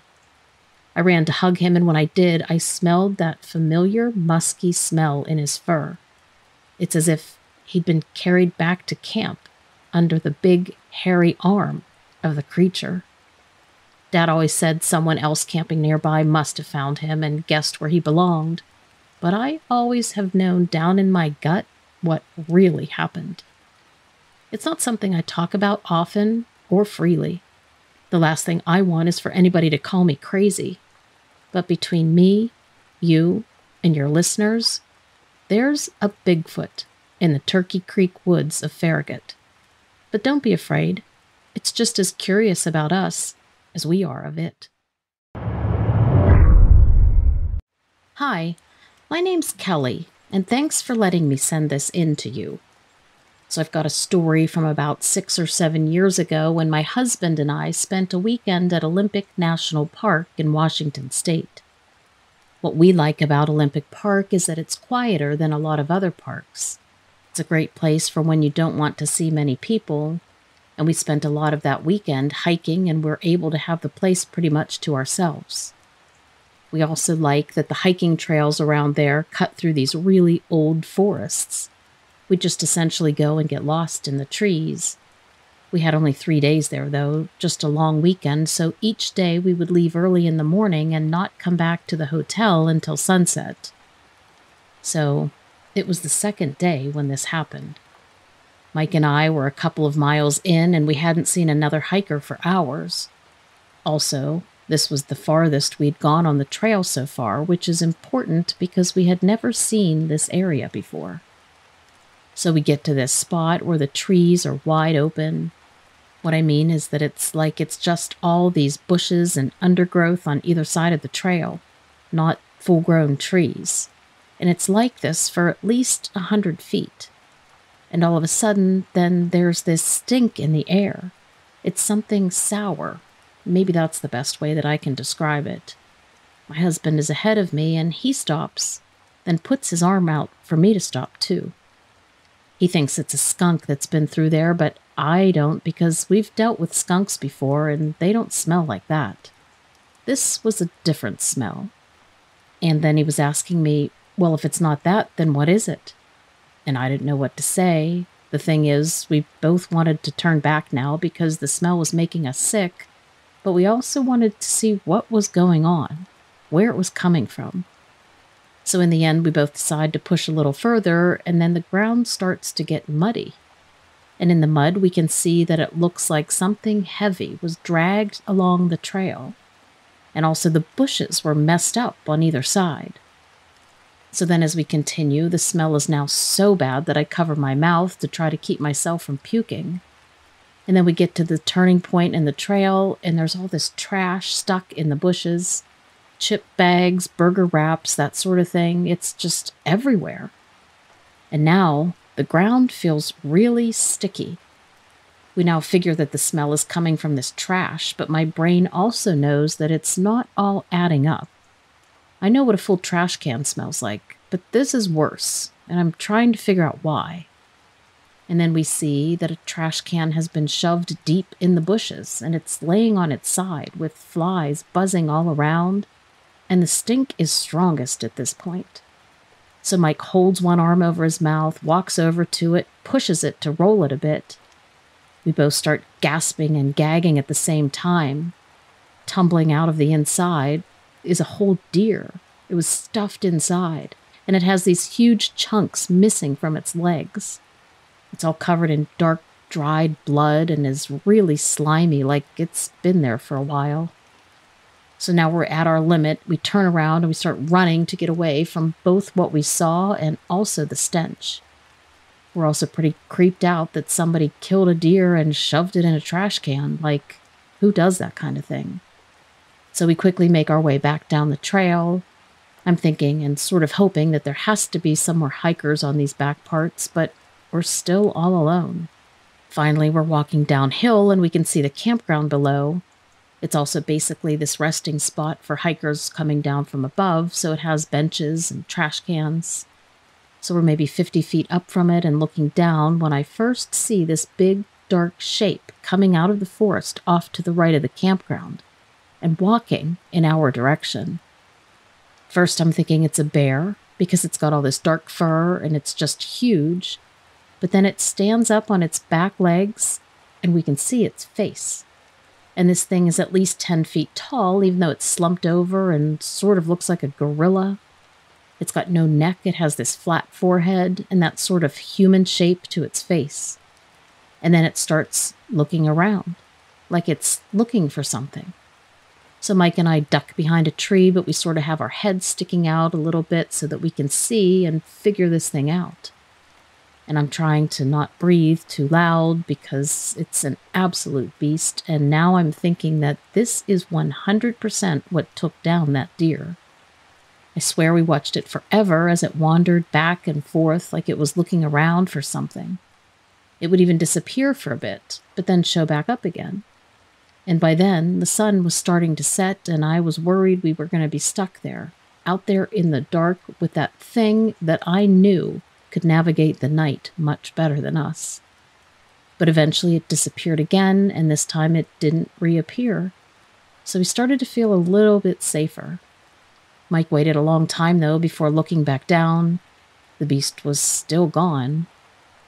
So we made a decision. We got up, we walked as fast as we could, hoping and praying the entire time to make it back to safety, back to the front of the park safely. We were trying to decide if we should tell park rangers what we had seen. We were worried that it wasn't safe with that thing on the loose, but then again, it's the right thing to do. We need to at least tell somebody about the litter and the dead deer. So I made a compromise with myself and I decided to just tell the ranger that we had seen a bear and her cubs by one of the campgrounds, and that it looked like they had gotten into some food. He said he would warn people and tell them to stay alert. Mike and I never went back into the park at all that final day of the weekend. In fact, we waited a few years before heading back there to hike again. And luckily, we haven't seen any sign of that thing again. Never since. It still gives me the creeps, though. Anyway, thanks for letting me share. Hi, Miss Lilith. I don't tell many people this story, but something freaking wild happened to me and my friends when we were camping out one night. My buddies and I would throw these raging house parties back in the day. I was a DJ and I had this amazing sound set up that used to tear the house down. I'm talking huge high end PA system that would get loud enough for a stadium. I had all kinds of crazy lights, fog machines, and visual effects that would turn any dingy apartment into an instant rave. My buddy Jeff was in charge of the booze, and he could whip out professional quality drinks at an amazing rate. My man Kyle had this omelet station that would whip out the most delicious breakfast foods all night long. And Casey was our other roommate, and she was always the life of the party.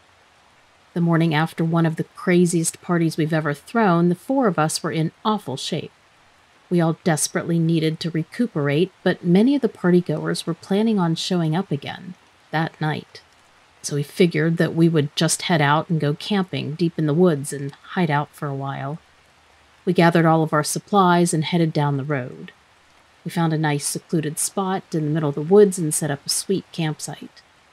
We ended up having such a good time that we actually decided to stay the whole weekend. The last night we were there, we were grilling some hot dogs around the fire, relaxing, and just having the best time. Suddenly, we heard this whooping noise coming from the forest. We thought we had been completely alone all weekend, so this freaked us all out. Kyle got up and grabbed a flashlight. Come on, let's find what's ever out there, he said, as he headed towards the sounds. Let's just get out of here, Casey said, taking off after Kyle. Jeff and I looked at each other and headed off after them. We slowly crept through the woods towards the whooping sounds. As the sounds got louder, we turned off our flashlights and snuck closer. We saw the fire from a campsite peeking through the trees, and we slowly made our way towards the light. What we saw horrified us. There were these naked human like things with unnaturally white skin, large black eyes, and skinny long limbs. They were jumping around the fire, whooping and shouting. There must have been twenty of them. One of us, unfortunately, stepped back on a branch and cracked it. Then they all went silent and looked right at us. All four of us took off back towards our campsite, screaming, panicking. Whatever those things were started whooping and shouting at us as they chased us back to the campsite. Run! Come on! Go! We were screaming at each other. We left everything we had brought and sprinted towards our van. We all climbed in and shouted at Casey to start the van up. She patted her pockets and froze. She had left the keys at the campsite. We locked the doors. We looked in the direction that the creatures were coming from. The whooping and the shouting got louder and louder, but then it was silent. We watched for a while and we didn't see any of the creatures again. We had to go back and get the keys, though. There was no way around it. It was too dangerous and too far to try to leave the forest on foot. That was a truly terrifying walk back. The forest was dead quiet. We did eventually get back to the campsite. We looked around. Nothing seemed out of the ordinary there. We searched for the keys for a while, and finally Casey found them in her sleeping bag. We pretty much left everything we brought and ran back towards the van. Then we all piled in the van, and Casey started it up. The headlights came on, and we saw the creatures had us surrounded. All of them stood equal lengths apart from each other and stared right at us. They all looked dead, emotionless. We thought we might be about to die. After a couple of tense minutes, Casey rolled down the window and shouted, We're leaving now. We're never coming back. We will never speak of this. Just let us go. None of them moved at all, and we just sat there. Suddenly, Casey slammed the van into gear and floored it straight towards the road ahead. We were about to hit one of the creatures ahead, and we were all screaming our heads off. As the van went forwards, the creature just bent backwards, and the van didn't even touch it. It was like it went right through it. We sped off, and I looked back at the creatures just blankly staring at us. They watched us make a beeline down the road. As we approached the exit, we looked back. We didn't see them, but then one of us, I don't remember who, looked up, and there they were, looking down at us from the top of the trees. I thought for sure they were following us. They were going to jump down and kill us, but we made our way safely home, safely down the highway, and we never saw them again. My life has calmed down quite a lot since those days, thankfully. My children have asked me several times to take them camping, but I haven't been in the woods since that experience. I honestly don't think I'll ever go camping again. I feel like I have post traumatic stress from the incident. My college friends and I have fallen out of touch with each other, but writing this down has inspired me to try to reach back out to them. I want to see how their lives turned out and what they think of that night all these years later. I don't know what those creatures were, but I know they weren't human, and I know I never want to see them again. Never. In hindsight, as soon as we heard those whooping noises, we should have gotten out of there immediately. But at least I have this crazy story to tell, and we all made it out alive. I wonder how many people have encountered these creatures and didn't live to talk about them. Thanks for reading this, and thank you for all your great videos. I hope you read this on your show because no one I've told believes me. Honestly, I'm sick of everyone laughing at me. If anyone who hears this has had a similar experience, please say so in the comments. Maybe then my boyfriend will take me seriously. I always go walking on this trail near my house in Massachusetts. It's on the South Shore between Boston and Cape Cod. I don't know if the particular place I go to has a name. It's like a forest with mountain bike trails. I usually feel pretty safe, even as a woman hiking alone.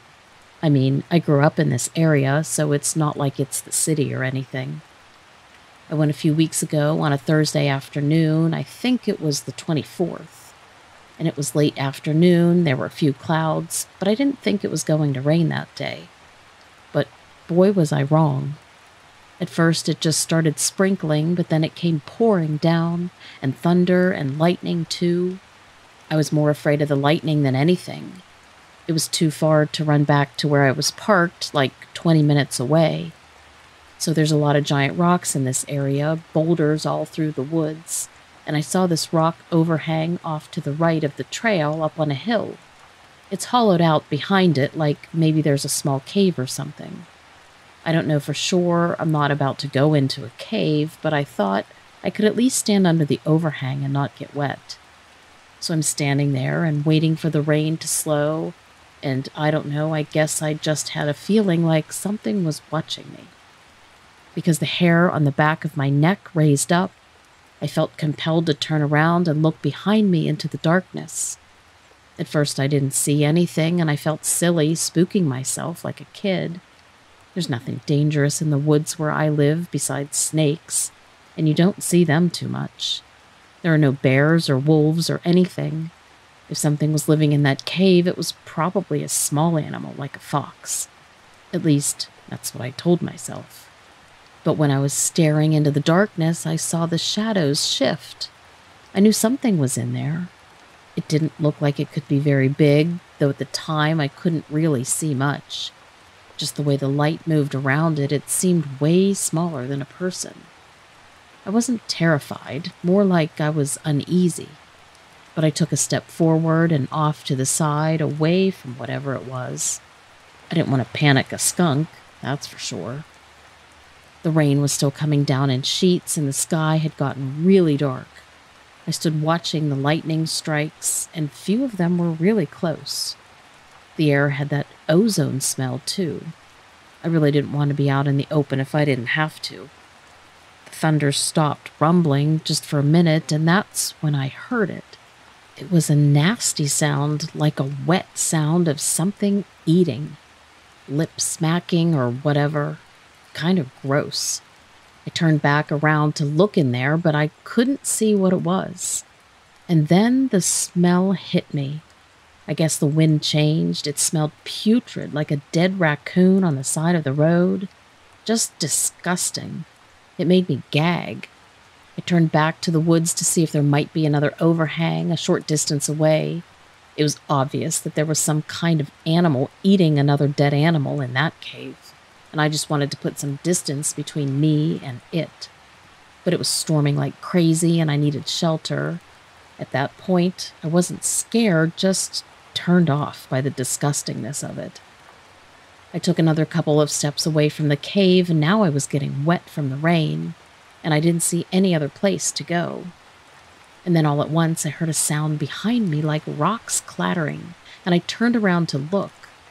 The shadow of the thing inside was rising, and I realized all at once that this creature was not small like I thought. It had been crouched down, and now it was standing. I had no idea what this was. Right then, it was too dark in the cave to see any details, but it must have been about six feet tall at least, standing up on its hind legs, and it totally took me by surprise. I froze for a second when I realized it was big, not to mention it being up on its hind legs. That was pretty startling. And then the lightning flashed right when I was looking at it, and I could see it so clearly. It was like something out of a nightmare. It had a face like a dog with a snout, only it was like a man, a big man, covered in fur. I could see dog ears on its head, too, the pointed kind. I screamed and stumbled and almost fell down the hill, and that's when it growled, just like a dog about to attack. I swear I thought I was going to die. I'm getting goosebumps just remembering it. So I took off running, screw the lightning. I felt like my life was in danger. Thank God it didn't follow me. Of course, no one believed me, but then I looked it up on the internet and I saw people posting about this thing they were calling a dog man. I really feel like that is what I saw. That must have been it. And that's how I found your YouTube channel. I want to say thank you for doing your show and for sharing everybody's experiences. At least now, I know I'm not crazy. Hello there, Lilith. My wife and I are huge fans of your videos, and we watched all of them several times. My wife has told me multiple times to send in my paranormal account, so I figured I finally would. When I was a kid, my dad had a hunting cabin in the middle of the woods. It was a tiny and simple one room shack, really, but it was my favorite place in the world to go. My dad and I would get plenty of one on one bonding time, and I would just forget about the rest of the world for a weekend at a time.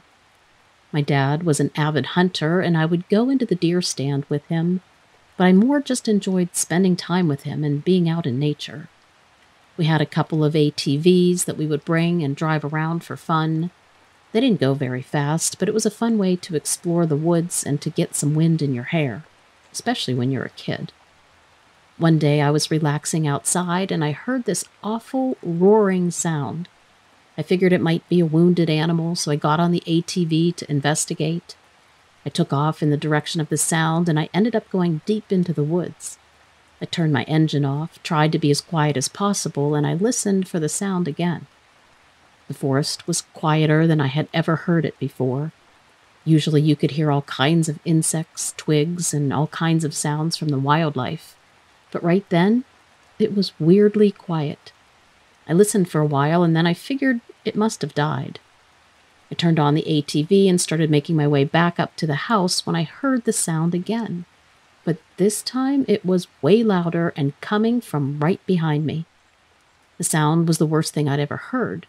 It was a ferocious roar, but it also sounded like a wolf's howling, like a combination of a wolf and a lion with a little bit of a demonic growl.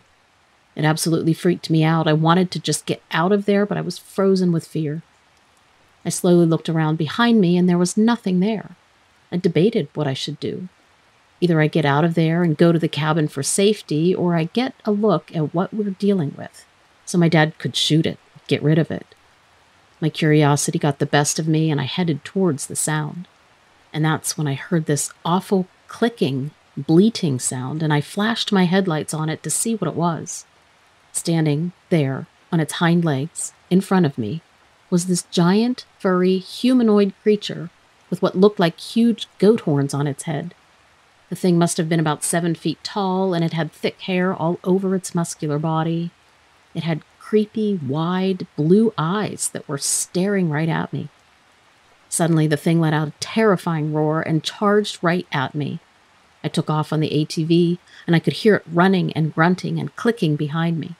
I was able to get to a part of the woods that I was pretty familiar with, and so I started driving as unpredictably as I could while heading back to the cabin. I finally got to the cabin, sprinted inside, slammed the door, locked it behind me. My dad asked me what in the world was going on, and I told him that I had heard these crazy sounds, and I went to investigate.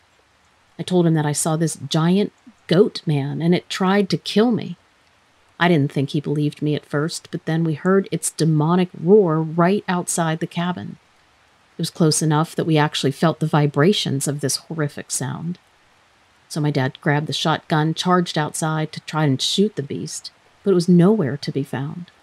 He told me to stay inside and lock the door, and he walked around the cabin to try and find it. After 15 minutes passed, he came back and said he couldn't find a single trace of anything, especially the creature. He asked me where I first saw it, and I tried to tell him where, but I was pretty shaken up. I couldn't really get the words out. So we hopped on the ATV and made our way down to where I had first seen it. We went slowly and quietly as possible. My dad had the shotgun and the flashlight ready. We even made it all the way down to the spot, but the creature was nowhere, and my dad couldn't track it at all. We made our way back to the cabin, and then I told him what it looked like. We researched it and about a week later, and to my astonishment, there are thousands of accounts of people around Maryland, Pennsylvania, and Texas who have seen a tall, half goat, half human. It's famously referred to as the Goat Man. I couldn't believe it. The typical description of what all those people saw matches what I saw. About seven feet tall, muscular, fur all over the body, huge goat horns, and wide set eyes. They also claimed that they heard the same thing I did bleating and clicking, roaring and howling. It was very validating to hear that so many people had the same experience as me, but it made me wonder why this information isn't more well known. Is it possible that the people in power are trying to hide the existence of these creatures from the public? I'm very hesitant to share this story to tell you the truth, but on my spouse's and my first date, I told the whole story and that's what fueled our mutual interest in the paranormal. We've actually gone ghost hunting. We've camped out at some places commonly visited by paranormal creatures, and we're always researching the latest accounts that people have had. So now I'm sending in my story. Maybe I can convince my spouse to do the same with hers. Dear Lilith, I want to tell you about something that happened to me something that disturbs me even to this day. I don't like to talk about it a lot. I honestly don't even like acknowledging it. But when I was younger, I was homeless for a while. I'd lost my job and things spiraled out of control. I'm proud to say that they've turned around since, and now I have a beautiful family, a good job, an apartment, and a car. I can put food on the table every night, even in these crazy times. But that wasn't the case about seven years ago, and this is when I experienced something worse than I ever could have imagined. At the time, I was living on the streets of New York City. I had to get creative to find a decent meal and a place to sleep that was somewhat safe. One night, I even woke up to rats crawling all over me. As messed up as it was, I was able to find some sense of normalcy through it all. I basically lived on a bench near a bakery and the owner would give me some food that he would have to throw away otherwise. And then he would donate what I didn't eat to a homeless shelter. and he was an all around nice guy. One night, I was trying to sleep on that bench, and this delightful old lady gave me a cozy blanket. Still warms my heart today to think of her kind gesture during those times, the worst time of my life. I was all bundled up and had fallen asleep when I woke to someone shoving my back. I flipped over to see who it was, but nobody was there. Now, it was common for me to not get the greatest sleep on that bench, so I figured it was just my mind and I tried to get back to sleep.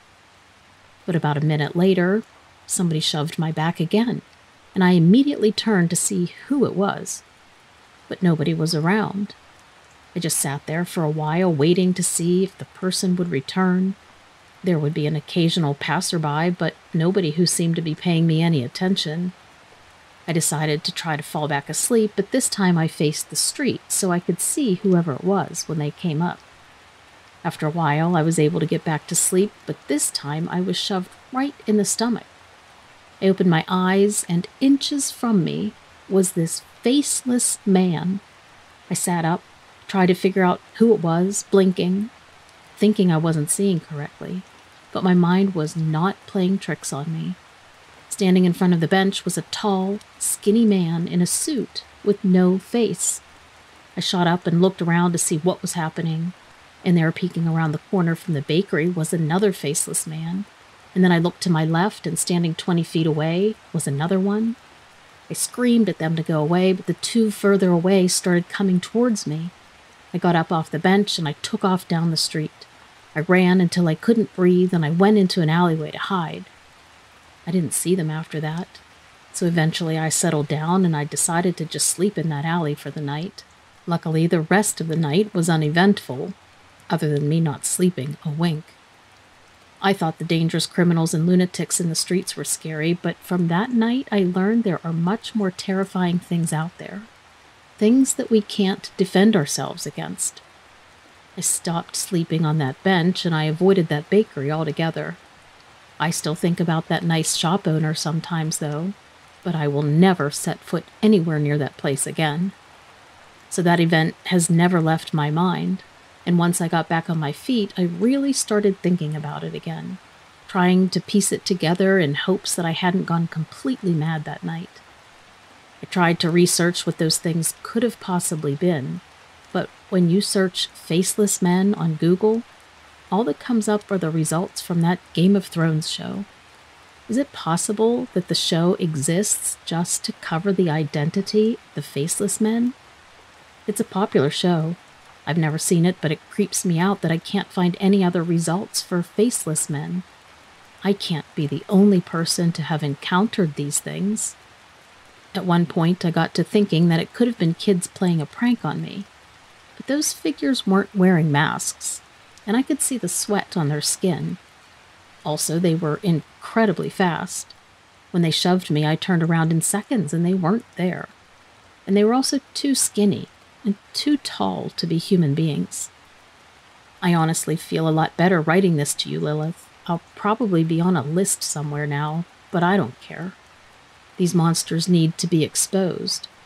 If anybody else out there has had an experience with faceless men, please let me know even if you haven't, but you have information or an opinion on what these things could have been, please share that. It was scary enough as a single man, but it's actually scarier now that I have my wife and kid.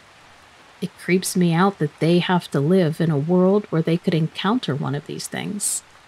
But I never told them what happened or what I saw. I'm also grateful to God that I haven't seen any since that night. So I hope and I pray that I never cross paths with those things ever again. Hey, Lilith. Back in the day, I lived in a small town in southwestern Ohio, and a group of friends and I used to like to explore some of the abandoned buildings in the oldest part of town. We saw some really wild stuff.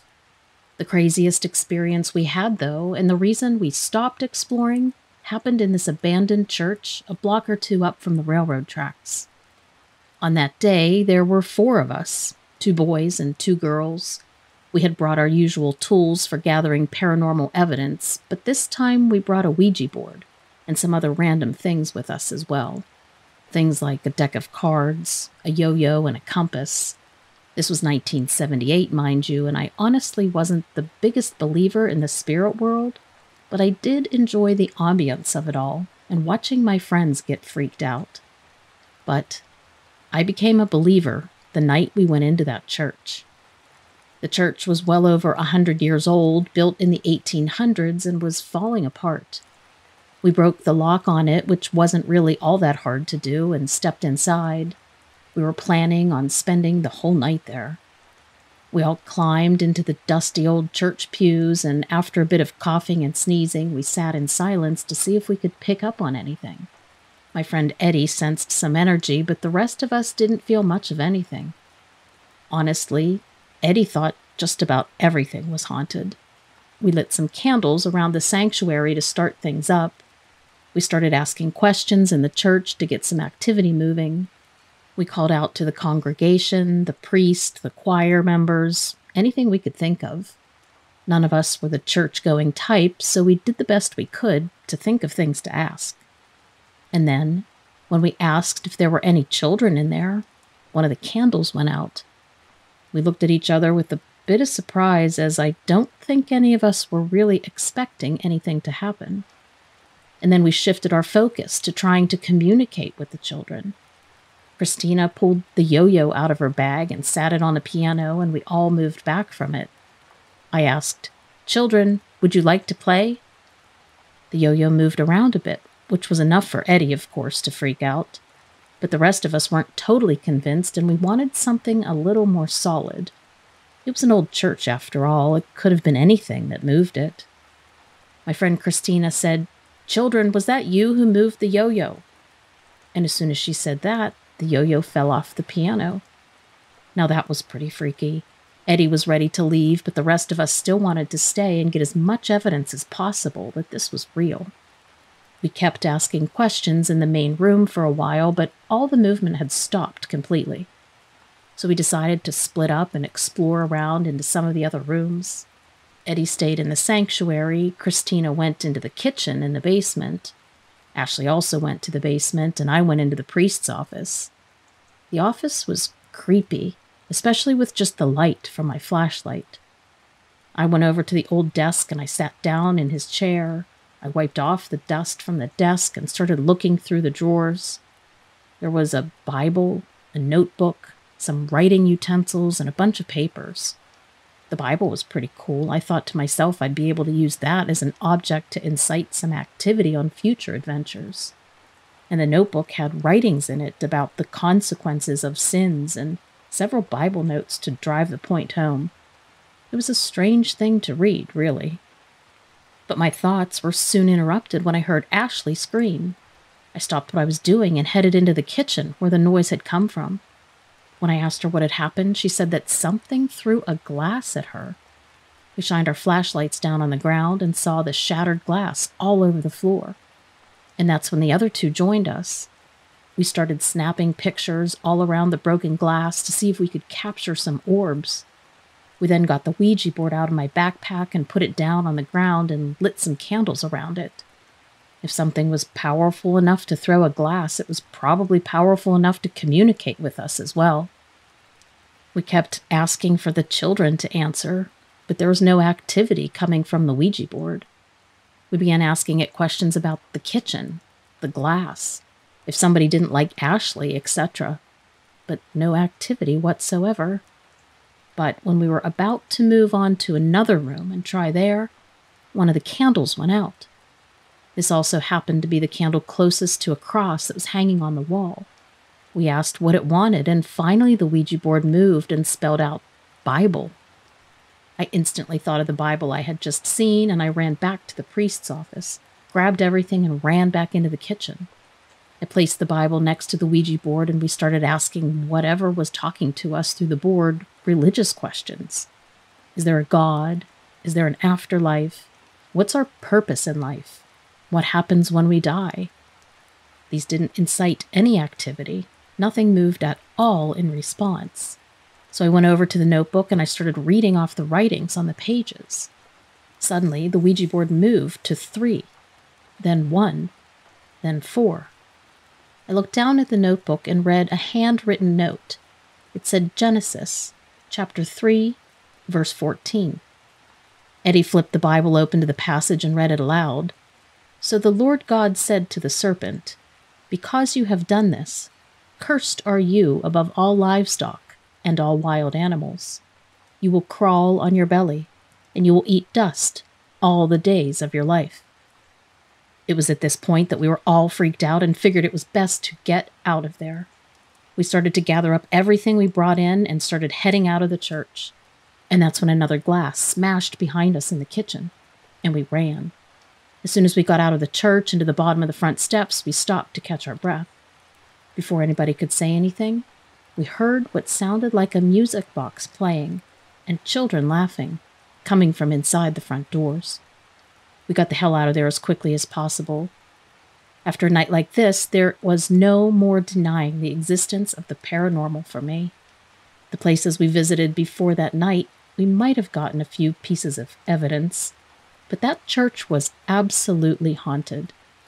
The yo yo falling, the glasses being thrown, the Ouija board spelling Bible and then Genesis 3:14. That was by far the most evidence we got from a single location and it was all in a matter of four hours. So to this day, I wonder if we had stayed there, would we have gotten hurt? Later, once we developed the pictures and looked them all over, we all agreed that we had captured a couple of orbs in that kitchen. I was honestly surprised we didn't capture anything else. I mean, I was half expecting to see a demon's face somewhere, based on everything that happened. But I guess, in a way, I'm happy we didn't. Hey there, Lilith. I believe that your channel is the best outlet for me to tell my story of what I saw last week. I work up in North Dakota at a truck dispatcher working with flock freight and the like. I'm usually working in the office, but I sometimes get called over to our warehouse to do some work with allocating shipping equipment and things like that. I much prefer the office work, especially during the winter. If you've never been to North Dakota in January, you sure are lucky because the winters out here are incredibly brutal. This season, we had about 50 days that were below zero, and it's very rare that the sun comes out for more than a few hours. If you've ever watched the movie Fargo, you might have an idea of the weather out here. We can get a few feet of snow at a time, and it always sticks because the temperatures never get hot enough to melt it. And then, the entire blanket of snow becomes a thick sheet of ice that's nearly impossible to move. Our guys need to get out there exactly during and after a snowstorm to plow before it starts to freeze. Anyway, on this particular day, wouldn't it be my luck that one of the men who was supposed to plow called off sick? No one else could fill the shift because anyone who was able to plow was already out there plowing. So somehow I got stuck with the job of shoveling out the driveway of the warehouse. My boss handed me the dinkiest shovel and a company issued snow jacket and told me to get out there. And I would like to say right here that this was most certainly not in my job description. So during a snowstorm like this, the entire sky basically gets whited out. The clouds become a dark gray that covers up any blue, and the world just looks like it becomes a few shades dimmer the wind was biting me, and I kept on having to pull down my hat or readjust my collar or pull up my gloves. So, after about 10 minutes of shoveling along the edge, I realized that the snow was melting in through my boots, basically leaking in through the fabric because I hadn't worn my heavy duty pair to work, thinking I would just be in the office. And all I wanted to do at this point was get home if I wanted to get home, though, I would have to drive out of the lot, and my car was getting covered and blockaded in by the dumping of the snow. So once I cleared a small path out of the warehouse driveway and onto the road, I headed towards the parking lot to deal with my car. Now, I definitely didn't want to deal with anybody else's car, but I got to work dealing with and clearing mine.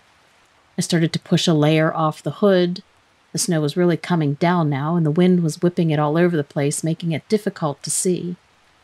And that's when, out of the corner of my eye, I saw somebody walking towards me. The wind was whipping, and the snow was moving like crazy with it. Sharp spikes of ice crystals were digging into my face, but I couldn't move my collar up because I was concentrating on this figure, trying to focus on it and see who was coming. My first thought was that my boss was coming over to ask me to deal with the other cars, or at the very least, his car. But what I saw was not a human. Once the figure got closer, I could see that it had dingy white and gray and brown fur, and the fur was covered in ice particles, so it almost looked like it was shining and sparkling when it caught the light. My brain was still telling me that it was a coworker in some far out snowsuit because that's the only thing that really made sense. But when I looked at its face, I realized that there is no costume in the world that looks that realistic. This thing had a gray black nose, almost like an ape, and it peered back at me with dark black eyes. Above its eyes was this thick brow that protruded like a caveman, and it had white, furry knuckles, but its fingertip pads and palms were bare and gray, and its legs were like tree trunks, and it moved like a cross between an ape and a human.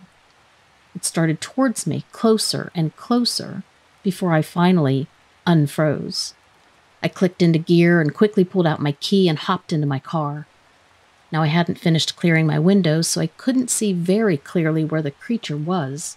But then I saw it next to me, and it started circling my car, but never getting closer than a foot away. By the way, I promise I am not making this up. After it circled my car, it moved towards my front window and then leaned heavily on the hood. The car started to move downwards under the front, under the massive weight of it so I decided to lean on the horn, hoping that that would go in my favor and not backfire. Luckily, it worked, and the thing was totally shocked. I still couldn't see clearly, but I felt the car lift back up and then nothing. No movement, no noise. I sat there for about five minutes or so, just hoping and praying that nothing more would happen. I hoped that it had run off in the same way it had come, back towards the interstate and the woods. When I finally got out of my car, my hood was dented in the front, and there was a stink in the air like garbage. I looked down at the snow, and I could distinctly make out the tracks. I started to run back inside to tell my coworkers when this pickup truck started to move into the parking lot. I waved my arms, tried to get him to stop, but I guess he didn't see me, and he went and plowed right through the tracks. I brought out my friends, and even though they could see the tracks in the snow by the woods, they told me that I was just BSing them and screwing around with them. After that day, I haven't really wanted to tell my story, to tell you the truth, but I know that your channel is the right place. If you're based in North Dakota, please be aware that there may be this creature lurking nearby, and snowstorms are definitely not a safe time to be outside. Thank you all for listening, and Godspeed. I was a federal law enforcement officer for many years at the Department of Homeland Security, and I can tell you that I have seen some strange things in my line of work. I've seen things that I can't even begin to explain in a way that sounds lucid. And I know that there are things out there that the general public doesn't know about. I'm not going to go into too much detail because I could get in a lot of trouble, but I will say that there are creatures out there that are not of this world. I've seen them. I can't let you know exactly where I saw them, but I can tell you a bit about what I saw once and confirm that they are not human. I'm not sure what they are, and I don't think that anyone knows for sure, but I can tell you that the government is aware of these things, and they're doing everything they can to keep it all under wraps. They don't want the public to know because they're worried that people would start shooting at anything that moved. I honestly don't blame them for trying to hide it, though, because the truth is mind boggling. Basically, we're not alone in this world. There are things out there that we don't yet have the technology to understand. They're living among us, and for the most part, in complete secrecy. Unless you've seen them for yourself, you won't believe me. So, anyway, the story I feel I can tell you happened about 12 years ago when I was riding home from a particularly intense day at work. I'd been driving down the usual four lane road I take home for about five miles when I spotted a dark figure on the side of the road. It was standing on the shoulder with its back to the oncoming traffic and its head turned away from the road. I slowed down to about 20 miles an hour and rolled down my window to get a better look. I couldn't believe my eyes when I got close enough to see it clearly. Up close, I could see that it was very tall and very slender, with long arms that went almost to its knees, but with a smaller head. In a way, it looked like a tall man that was wearing a long coat, but I could see that its body was different than a man's. It stood perfectly still as I passed by and didn't turn to face me. But as soon as I passed it, it walked into the woods. I decided to stop and turn my car around so that I could investigate further, which, stemming from my line of work, is my natural instinct. So I drove back to where I had seen the figure and I turned the car so that I was facing the woods and shining my headlights in the direction that it went. I opened the car door and got out. I then closed the door behind me and put my hand on my gun that I always had on me and started walking towards where I had seen the thing. I didn't get far before I started hearing noises around me. Everywhere. It sounded like sticks breaking, or maybe sticks being thrown.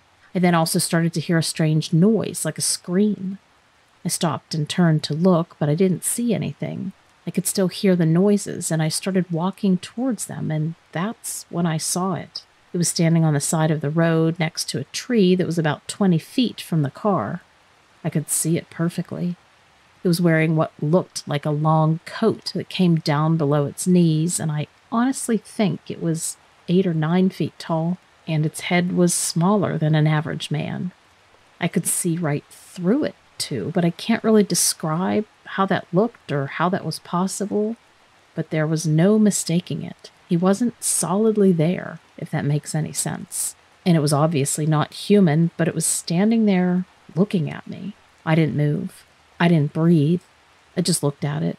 It looked at me and then smiled this strange smile, all while the deep black eyes remained lifeless. It was a strange look, though, and I got the impression that it was on guard like maybe protecting something. I also had a sneaky suspicion that it knew who I was. And now I was close enough that I could get a good look at the clothes, and now I could see that they looked like they were made of some type of animal hide. And I could see a strap around its waist and another strap around its chest. I think the straps were the only things holding the garment on the body. I was only about 15 feet away now and no idea what this was, but I knew that it wasn't human I wasn't sure what I should do, so I just stood there and stared at it. I was still holding my gun, and I was ready to use it if I needed to. Either way, though, I didn't know if I could kill it, like if it even was alive, in the sense that we think of being alive. But I sure felt it could hurt me if it wanted to, just from the looks of it. I didn't want to take any chances, so at that point I started stepping backwards and didn't take my eyes off of it. I walked back to my car backwards the entire way with my hand on my gun the whole time. Once I got there, I got in and drove off, but continued to look in the rearview mirror every few seconds. I'll never forget what I saw that night. I've no idea what it was, but I know that I saw something that shouldn't exist. And I also have a sneaky suspicion that it knew who I was and that I.